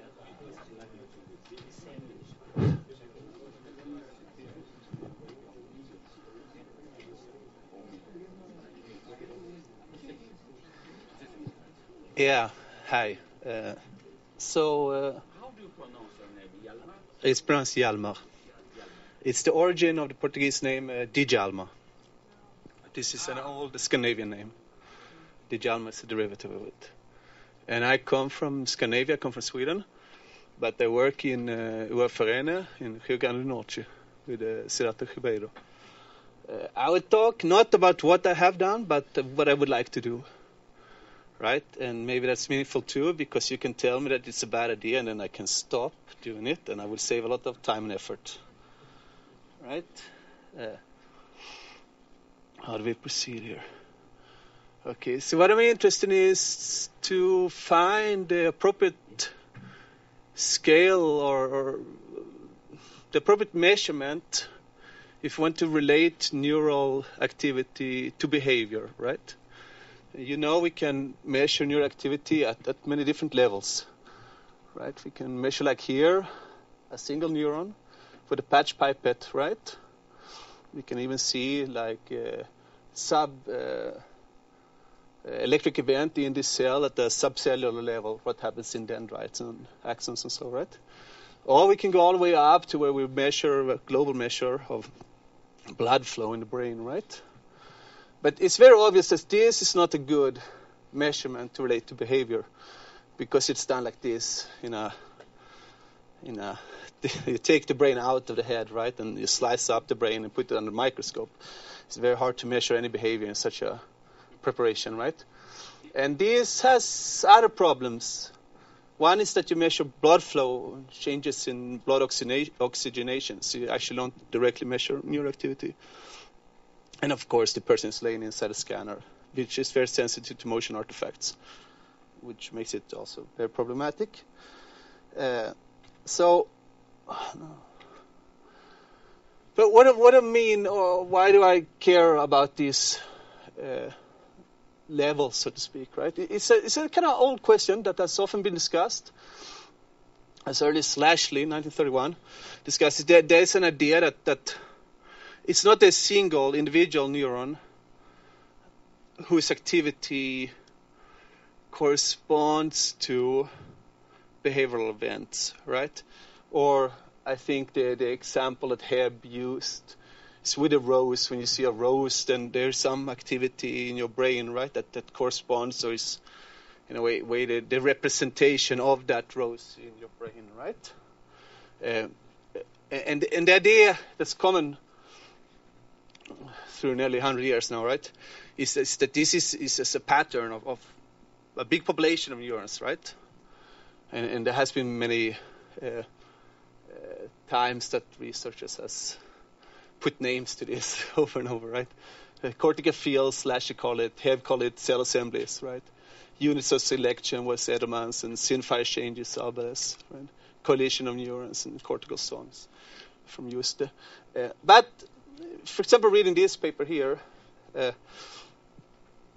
uh, it's a, it's a long, I think, neuro, Nature Neuroscience Review paper about this type of patterns, right? And they talk at length about what they call coalitions of neurons. But there's not a single reference to measurements of such coalitions.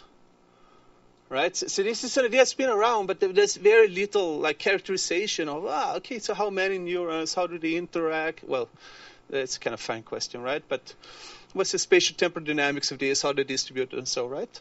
So, so what I'm really after is trying to, to figure out how to measure this because I, I think this, if we, we study uh, systems neuroscience or neuroactivity as it relates to sensory motor behavior, right? This is the level at which we should measure it, right?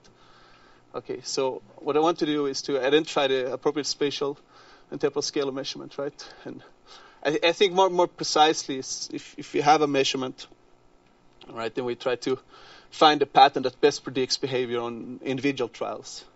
Because after all, I do something. I pick up this pen. I, I, do it once. I don't do it ten times or try ten times and take some average of that, and then I get my pen in the hand, right? I mean, the, all the information for, for doing this maneuver is there each time I do it, right? Whereas often neural measurements are done such that you repeat and repeat and repeat and repeat the same thing.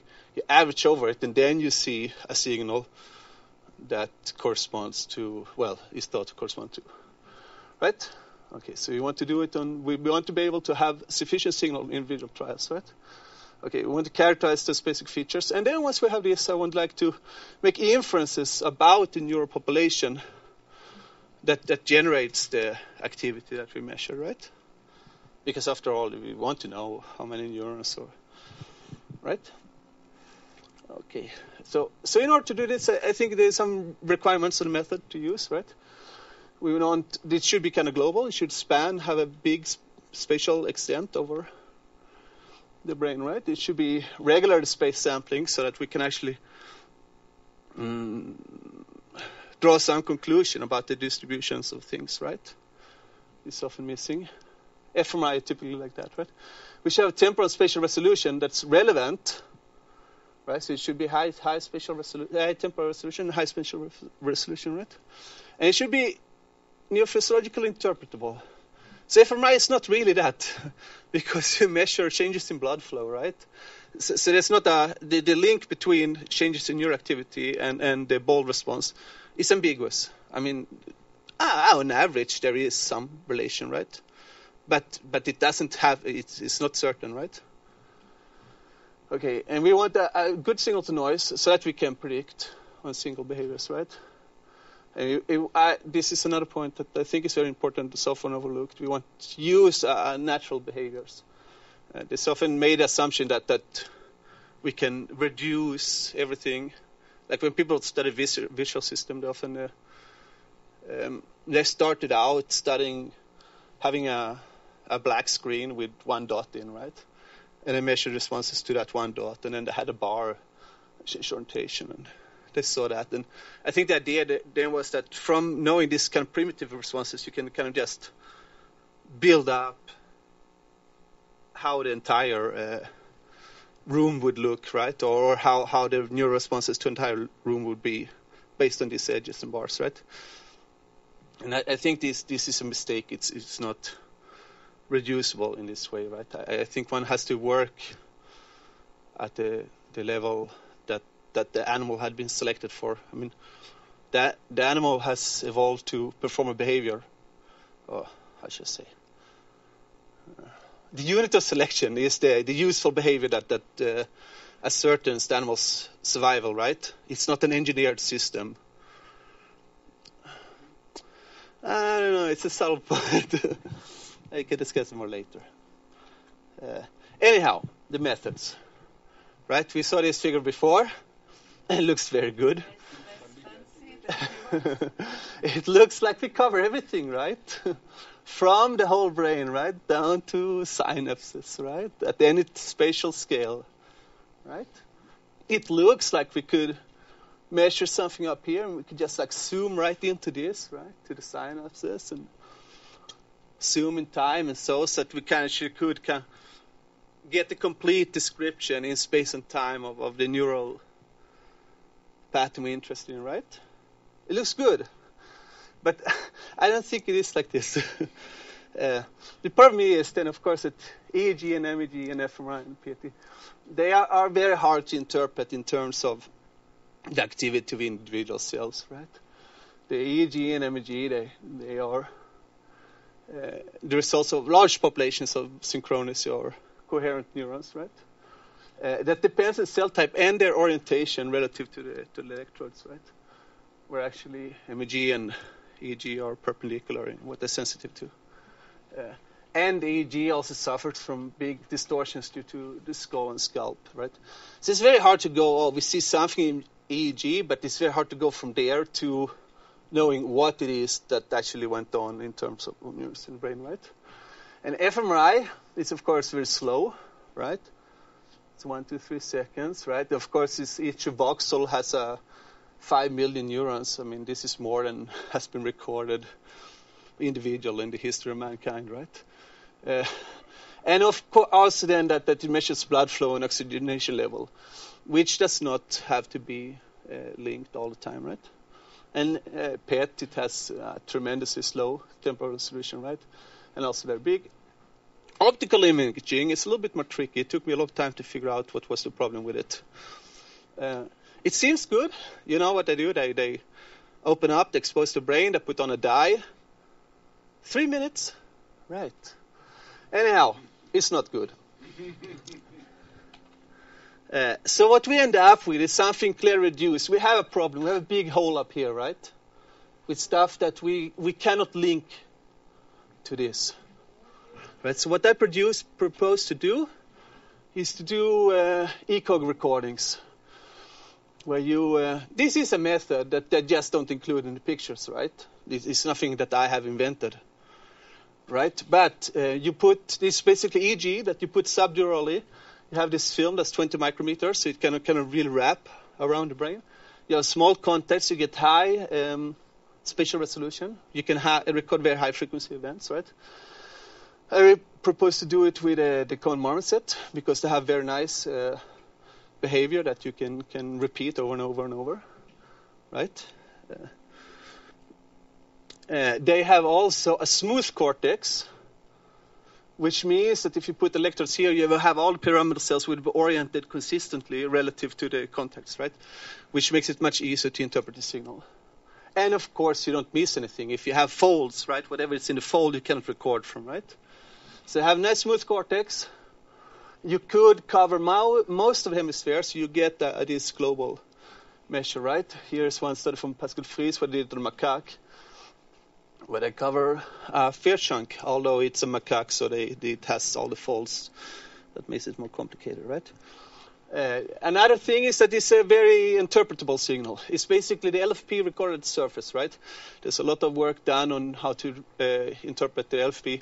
I think in this case it's even simpler because you have a consistent orientation between the contacts and sources and sinks. sinks right? And it's possible to combine with single unit recordings for further improvement of them. It has high spatial resolution, I think, at the order of the actual field changes in the brain. Uh, it is possible to have higher. And I think, I mean, in a dream world, 2,000 electrodes and you will cover an entire hemisphere. Of course, now we cannot do 2,000 electrodes, but it's, it's not completely out of. Uh, it's theoretically possible, right? Uh, and then uh, why use a, a, complex behavior, not uh, like a simple detection task, right? It is because, what I said before, I don't, I don't, think the behavior is necessarily reproducible, re reducible, right? also, if you want to look at large-scale patterns, sensory motor behavior like this, and phone calling, uh, will give rise to cross-regional interactions, right? And thus large-scale patterns. So we have to choose. I mean, we have to choose a, a behavior paradigm that's likely to give rise to, to what we want to look for, right? Uh, another little detail is that, uh, which is important for me as an experimentalist, is that um, it doesn't require. It's a spontaneous behavior. You put them in a room, they do it automatically. Uh, it doesn't require any training, so you can have much faster experimental turnover. I have worked with trained macaques, and it takes two months to just to start doing experiment. Right? And then they do this reliably while physically constrained, which is another very important factor. Uh, right? And for those of you who work with uh, the data set, uh, organization of the data sets, right, or, or, the databases, right, I think this is what we will get, we should get, right, in terms of electrophysiological data. Have video, of the face in order to, to tell, well, basically to get more variability in the behavior, right? We have the vocal responses, and we have also uh, the dynamics of the face. Two microphones, all this has to be aligned, right? Given that I'm not. Uh, uh, and then back to what I'm looking for, right? So we want to, we record this, we find what are, are the relevant patterns, right? We characterize those, right? And then we go back to make the inferences of the sources of those patterns, right? And I guess this is where uh, you are the experts. Right, that's it.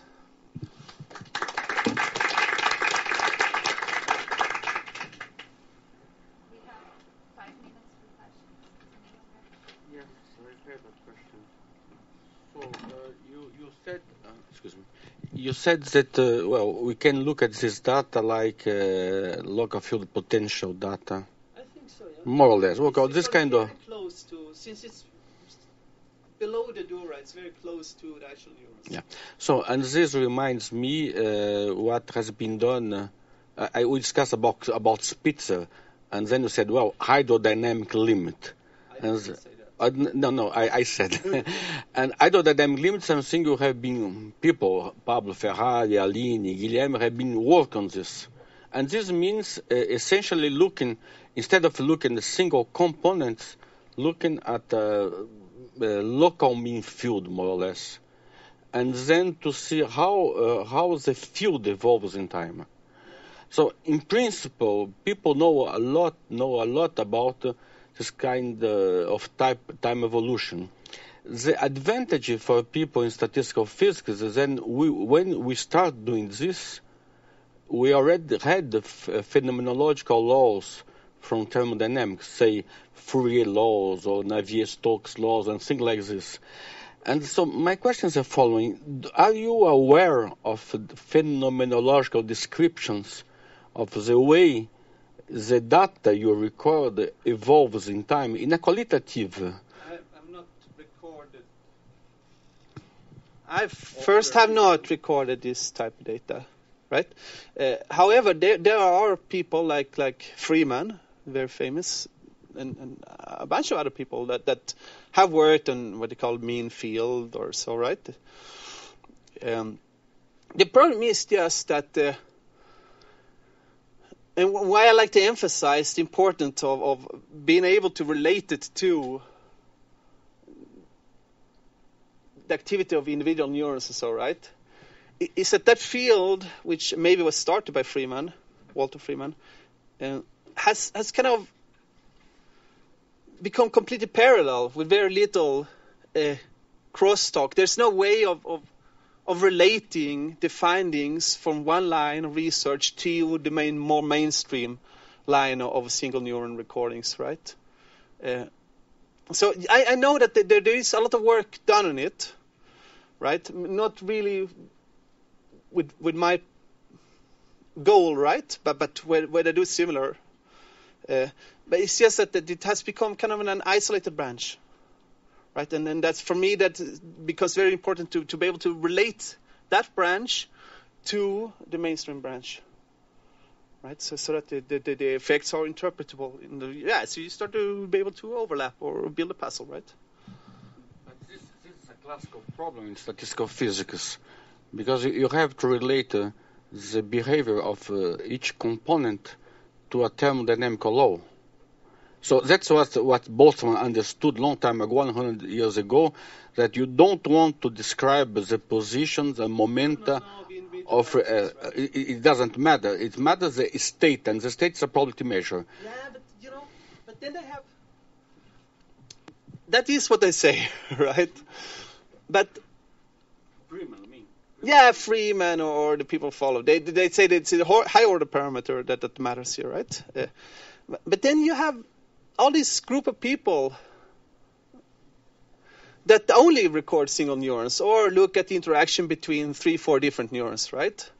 And there's no communication between the two. I mean, if if you can show, and, and, and they don't do the experiments where they record both, like individual, like say, so you record like 50 individual neurons and you record a field, and you see how how they relate to each other, right? So since I don't do that, it becomes two two independent lines, where it is just the ones who sell the best story that, that wins, right? Uh, and I, I would really like to, to be able to, to, to, to bridge this. epistemological point of view, we don't care. What we want is to understand what is uh, brain state or some whatever. So, uh, so you, you have. So I, I'm working on both sides. No, no, no. I understand the, the, the goal here. This, uh, I'm curious. I'm not aware of any phenomenological description of the time evolution of, of anything which is more global. Maybe Freeman did it, but I don't know. No, I that is physicist. There is laser physicist also. Uh, Say, for instance, uh, no, there, there there are a handful. I tried to, to find out where in the neurobiological literature I could find the notion of cause propagation. Because now a few people, very smart people, like uh, Giacomin or, or these two guys there, are proving that in our systems we have uh, chaos propagation. Chaos propagation is a notion which came from statistical physics. Yeah. And I was not able, so the first one to introduce this was, I guess, Olivier Fojras. This means that if you look at two, two small pieces of the system, they evolve in an independent way. That's the original idea by who? By Katz or not known. And then the only thing I could find in the literature was a recent paper by Ecker in 2011. So I guess there is a big gap between also people doing uh, these huge models and uh, phenomenology. So if you do this model, you want to show. So let's suppose we work in this at the, at the scale of a model like a Hawk you want to show that this model has a, a realistic behavior, not a naturalistic, a realistic behavior. But then we need to, to have a description at the level local mean field. I don't mean mean field, I mean, I mean local mean field. Mm. And so maybe you could give us this. Yeah, in the best of all worlds. yeah, but, but, I mean, one thing is that, that oh, there's often not so much data.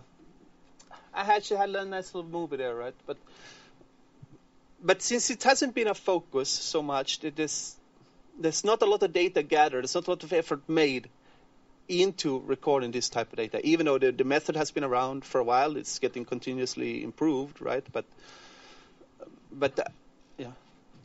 Ah, that's it. Maybe we complete the discussions and Yes. the ideas exchange tomorrow. Thank you.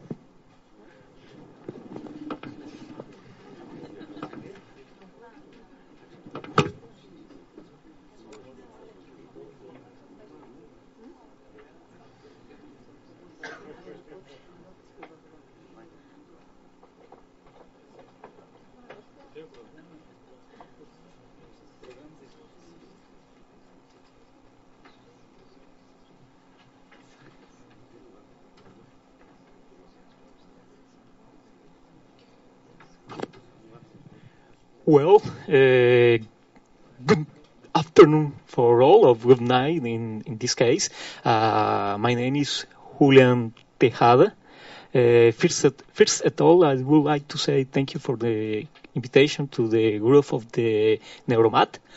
And my presentation is divided in two uh, parts. Uh, in the first of them, uh, I want to sh- uh, show uh, the results of my postdoctoral research, and after that, I want to discuss with you uh, the possible development of this research. Uh, well, uh, first of all, I, study morphology, maybe for the same reason that uh, a lot of different neuroscientists makes during of the last 10, uh, uh, 100 years. And maybe the reason is uh, because are so uh, fascinating, uh, the variety of forms, and because everybody wants to know why we have so different morphology, so different uh, types uh, of nerves, and what is uh, it, what is their functions.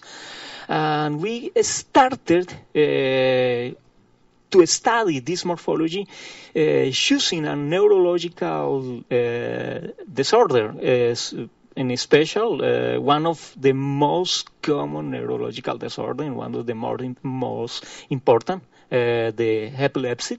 And we choose also because it is, uh, in terms of the modeling, it represents uh, two very different uh, uh, states of a system. In this case, the system is, is our, the system is the brain, our brains, and you can see do, two different states. Uh, normal states before the seizure, and, and it's and uh, so different state uh, during the seizures. And this is very interesting in the point of from the point of view of the simulation because uh, you can uh, reproduce uh, in a easy way uh, these two different states. and also we, we choose a specific type of epilepsy because there are a lot of different uh, types, uh, and we choose one of the most common, the temporal lobe epilepsy, in which the hippocampus, a very interesting internal uh, brain structure, are involved. Uh, in, in, this uh, slide, it's possible to see a sagittal view uh, of a human brain in which it's possible to observe the hippocampal formation. Here is a, a, a coronal uh, cut of this uh, formation in which it's almost possible to see the different arrange of cells, but it's, it is more clearly here in a schematic view in which it's possible to observe two uh, specific uh, arrange of cells of, the, of, of two different kinds of cells. Uh, one of them is, is conformed for pyramidal and the other one for uh, granular cells. We are interested in this region, the dentator uh, gyrus, uh, because uh, this region is one of the two uh, regions in which is possible to find neurogenesis in adult brain. neurogenesis in high rates. Uh, here is uh, represented in a schematic way uh, the process of neurogenesis when uh, cells uh, uh, is differenti differentiated and migrated in a specific area. After that, the dendritic branch sprout. And the epilepsy specifically alter in a different ways the morphology of these cells. Uh, we can uh, identify uh, at least five different kinds of uh, morphological alteration. Uh, one of them provokes that the axon of the cells uh, returns to the region of the granular cells, make recurrent connections. Other kind of alteration is related with the dendritic branch, making it uh, narrowed and shorted.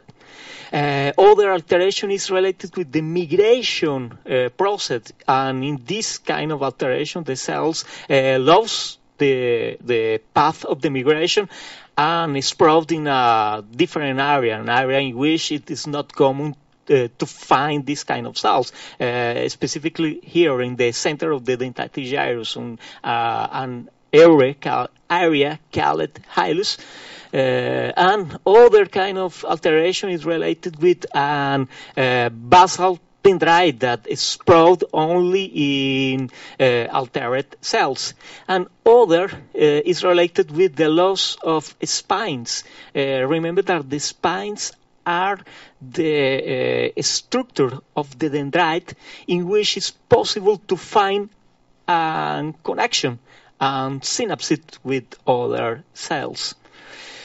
Uh, so uh, we started to uh, working uh, with a set of uh, neurons that was mapped in a three-dimensional way uh, from uh, and two groups of animals, animals that uh, we can call it uh, control, and other uh, animals that passed by a process in which, after the injection of a drug, uh, the animal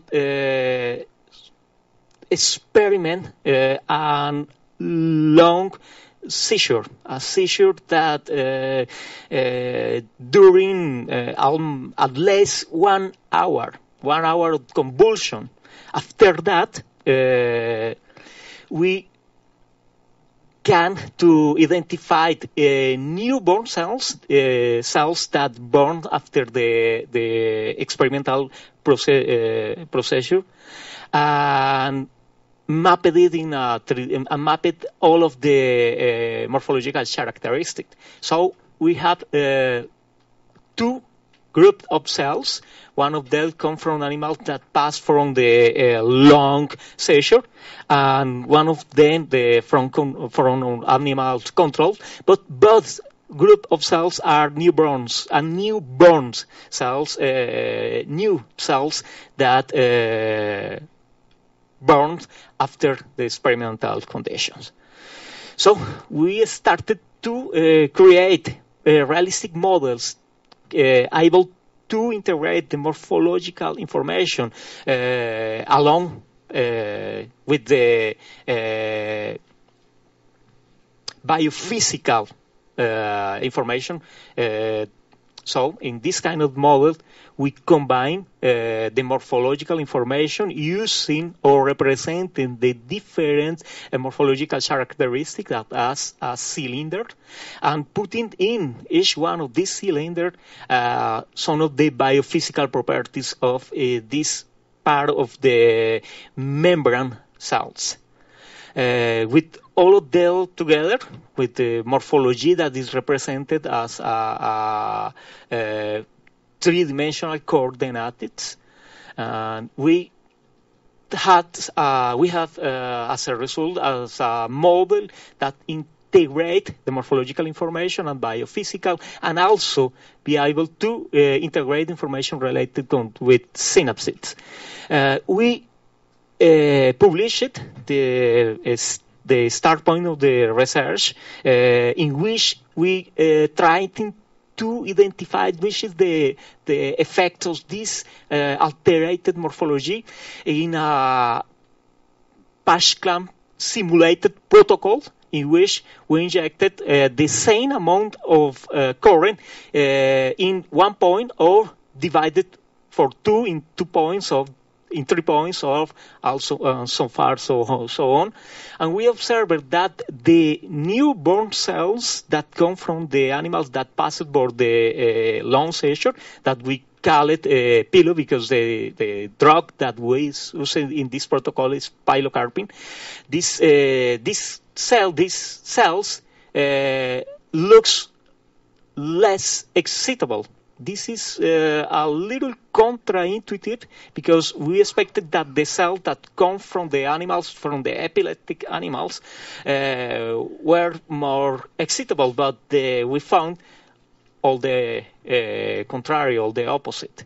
And after that, we tried to uh, discover which is the effect of this uh, kind of cells in a network model. So we building a model of the dentated gyrus, putting this kind of cells and observe the effects of the cells with uh, less excitable over the behavior of the network.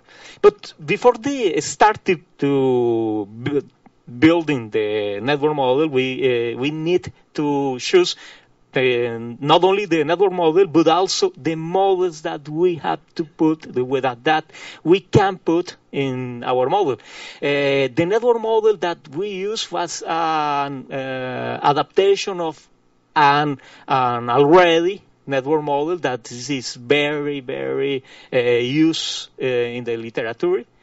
And this is the, our publication with the model and uh, the starting point was in a repository of uh, networks, or the, no, the repository of morphological information. Uh, try to find uh, granular cells uh, that looked uh, more than normal. In, and this in this repository it is possible to find uh, more than more or less uh, 400 uh, granular cells. But as you can see, not of them come from rat, not of them come from uh, adult animals, and they are also uh, one of the models that don't have information.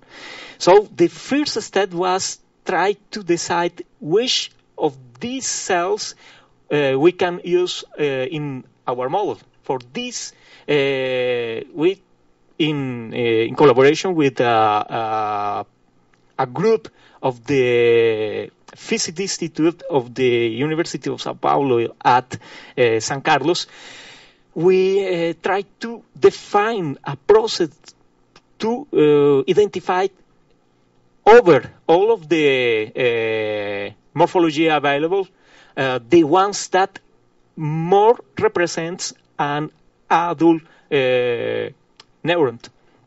And we, we use uh, principal component analysis and we uh, project difference, uh, all of the different neurons and try to identify a set of them that uh, we can uh,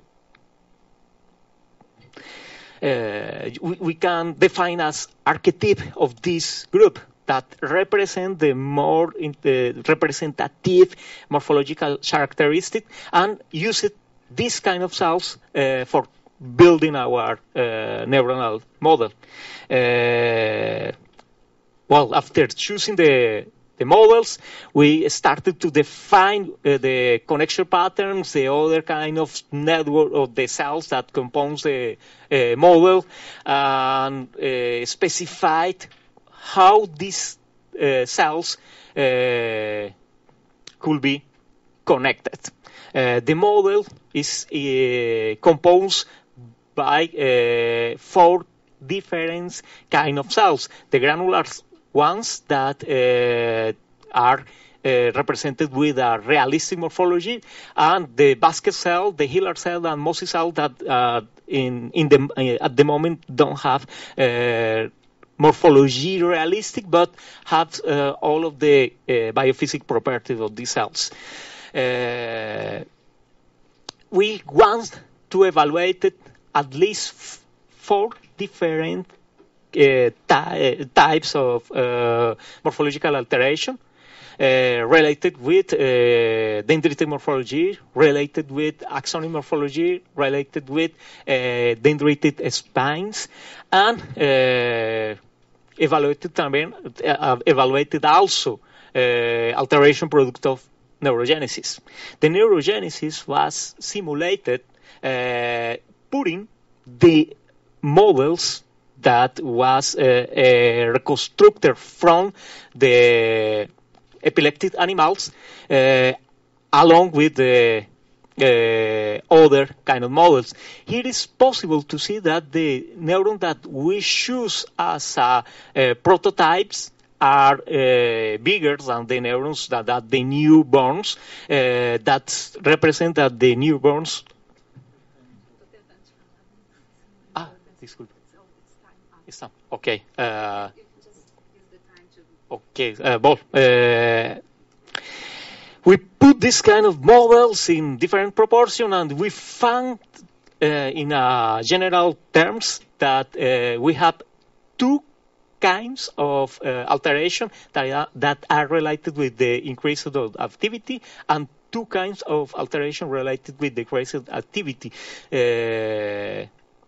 and uh, the model has already uh, published. Uh, this available on, um, on internet.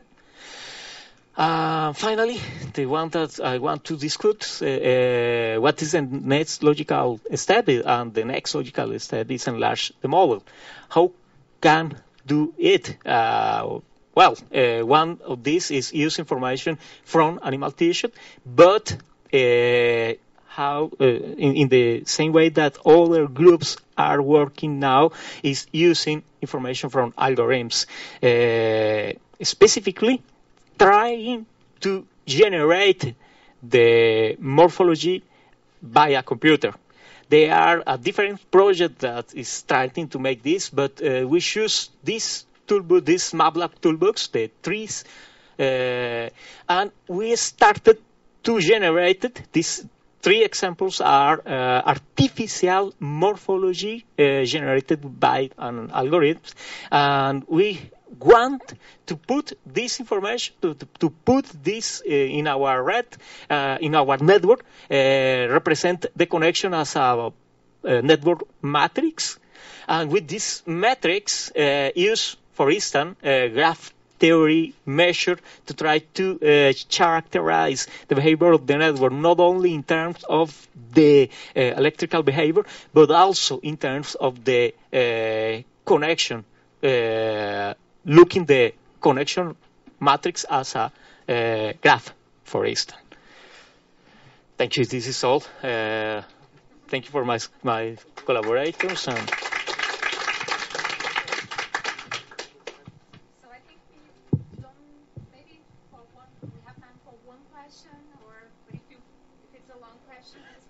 short question.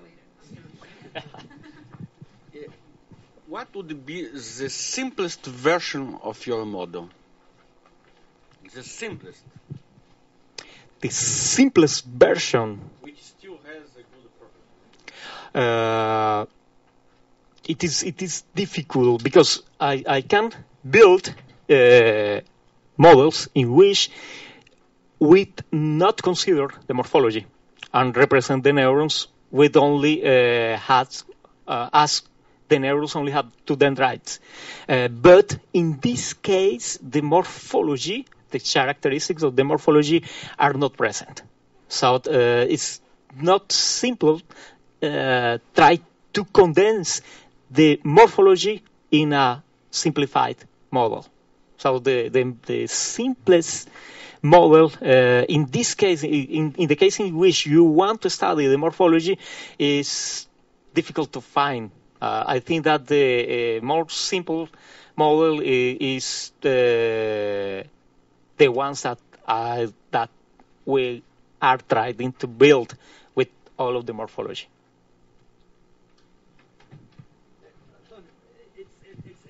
It's a kind of endless question. It has to do with the previous talk.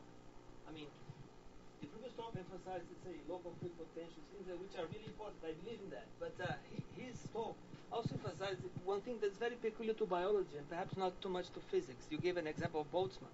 But in biology, morphology matters. There's a relationship between morphology and function. People know that in biology. Perhaps they're not so clear in, in physics where atoms and, mo and, molecules, at least in the view of Boltzmann, the, the actual shape of them didn't matter. Just the numbers uh, of, of, how do they react to large parameters like temperature and so on? I think the important point is that you don't know which detail to ignore. Right? Yes. yes. This makes it very hard. Yeah. in, in, physics, the, the, pressure of a gas, you know, yeah. you, you can ignore the individual molecules easily, right? But here, I mean, I don't know if, well, in this case, you cannot ignore the morphology. In my case, I don't know if I can ignore uh, individual cells, right? We really just have to, to do the work to know what we can ignore and what we cannot ignore. Yeah, yeah, that's, that's, that's why I, I think both approaches are okay, good, and even the, the very large scale one uh, using fMRI, because we don't know.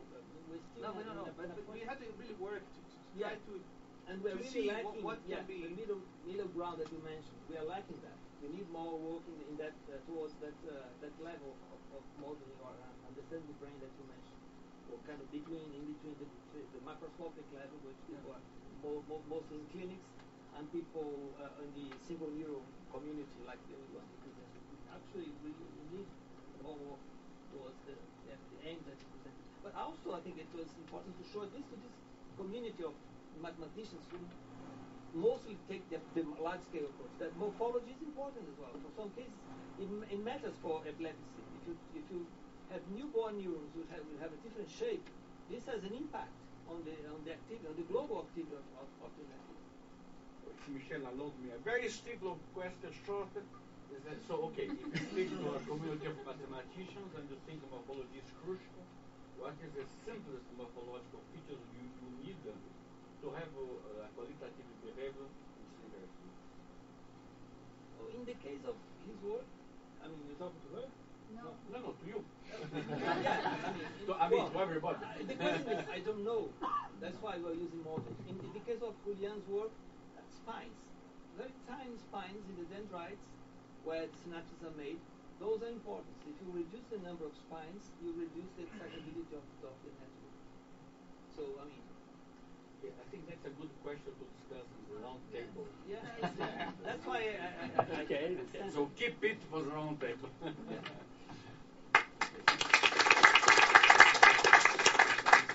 どうも。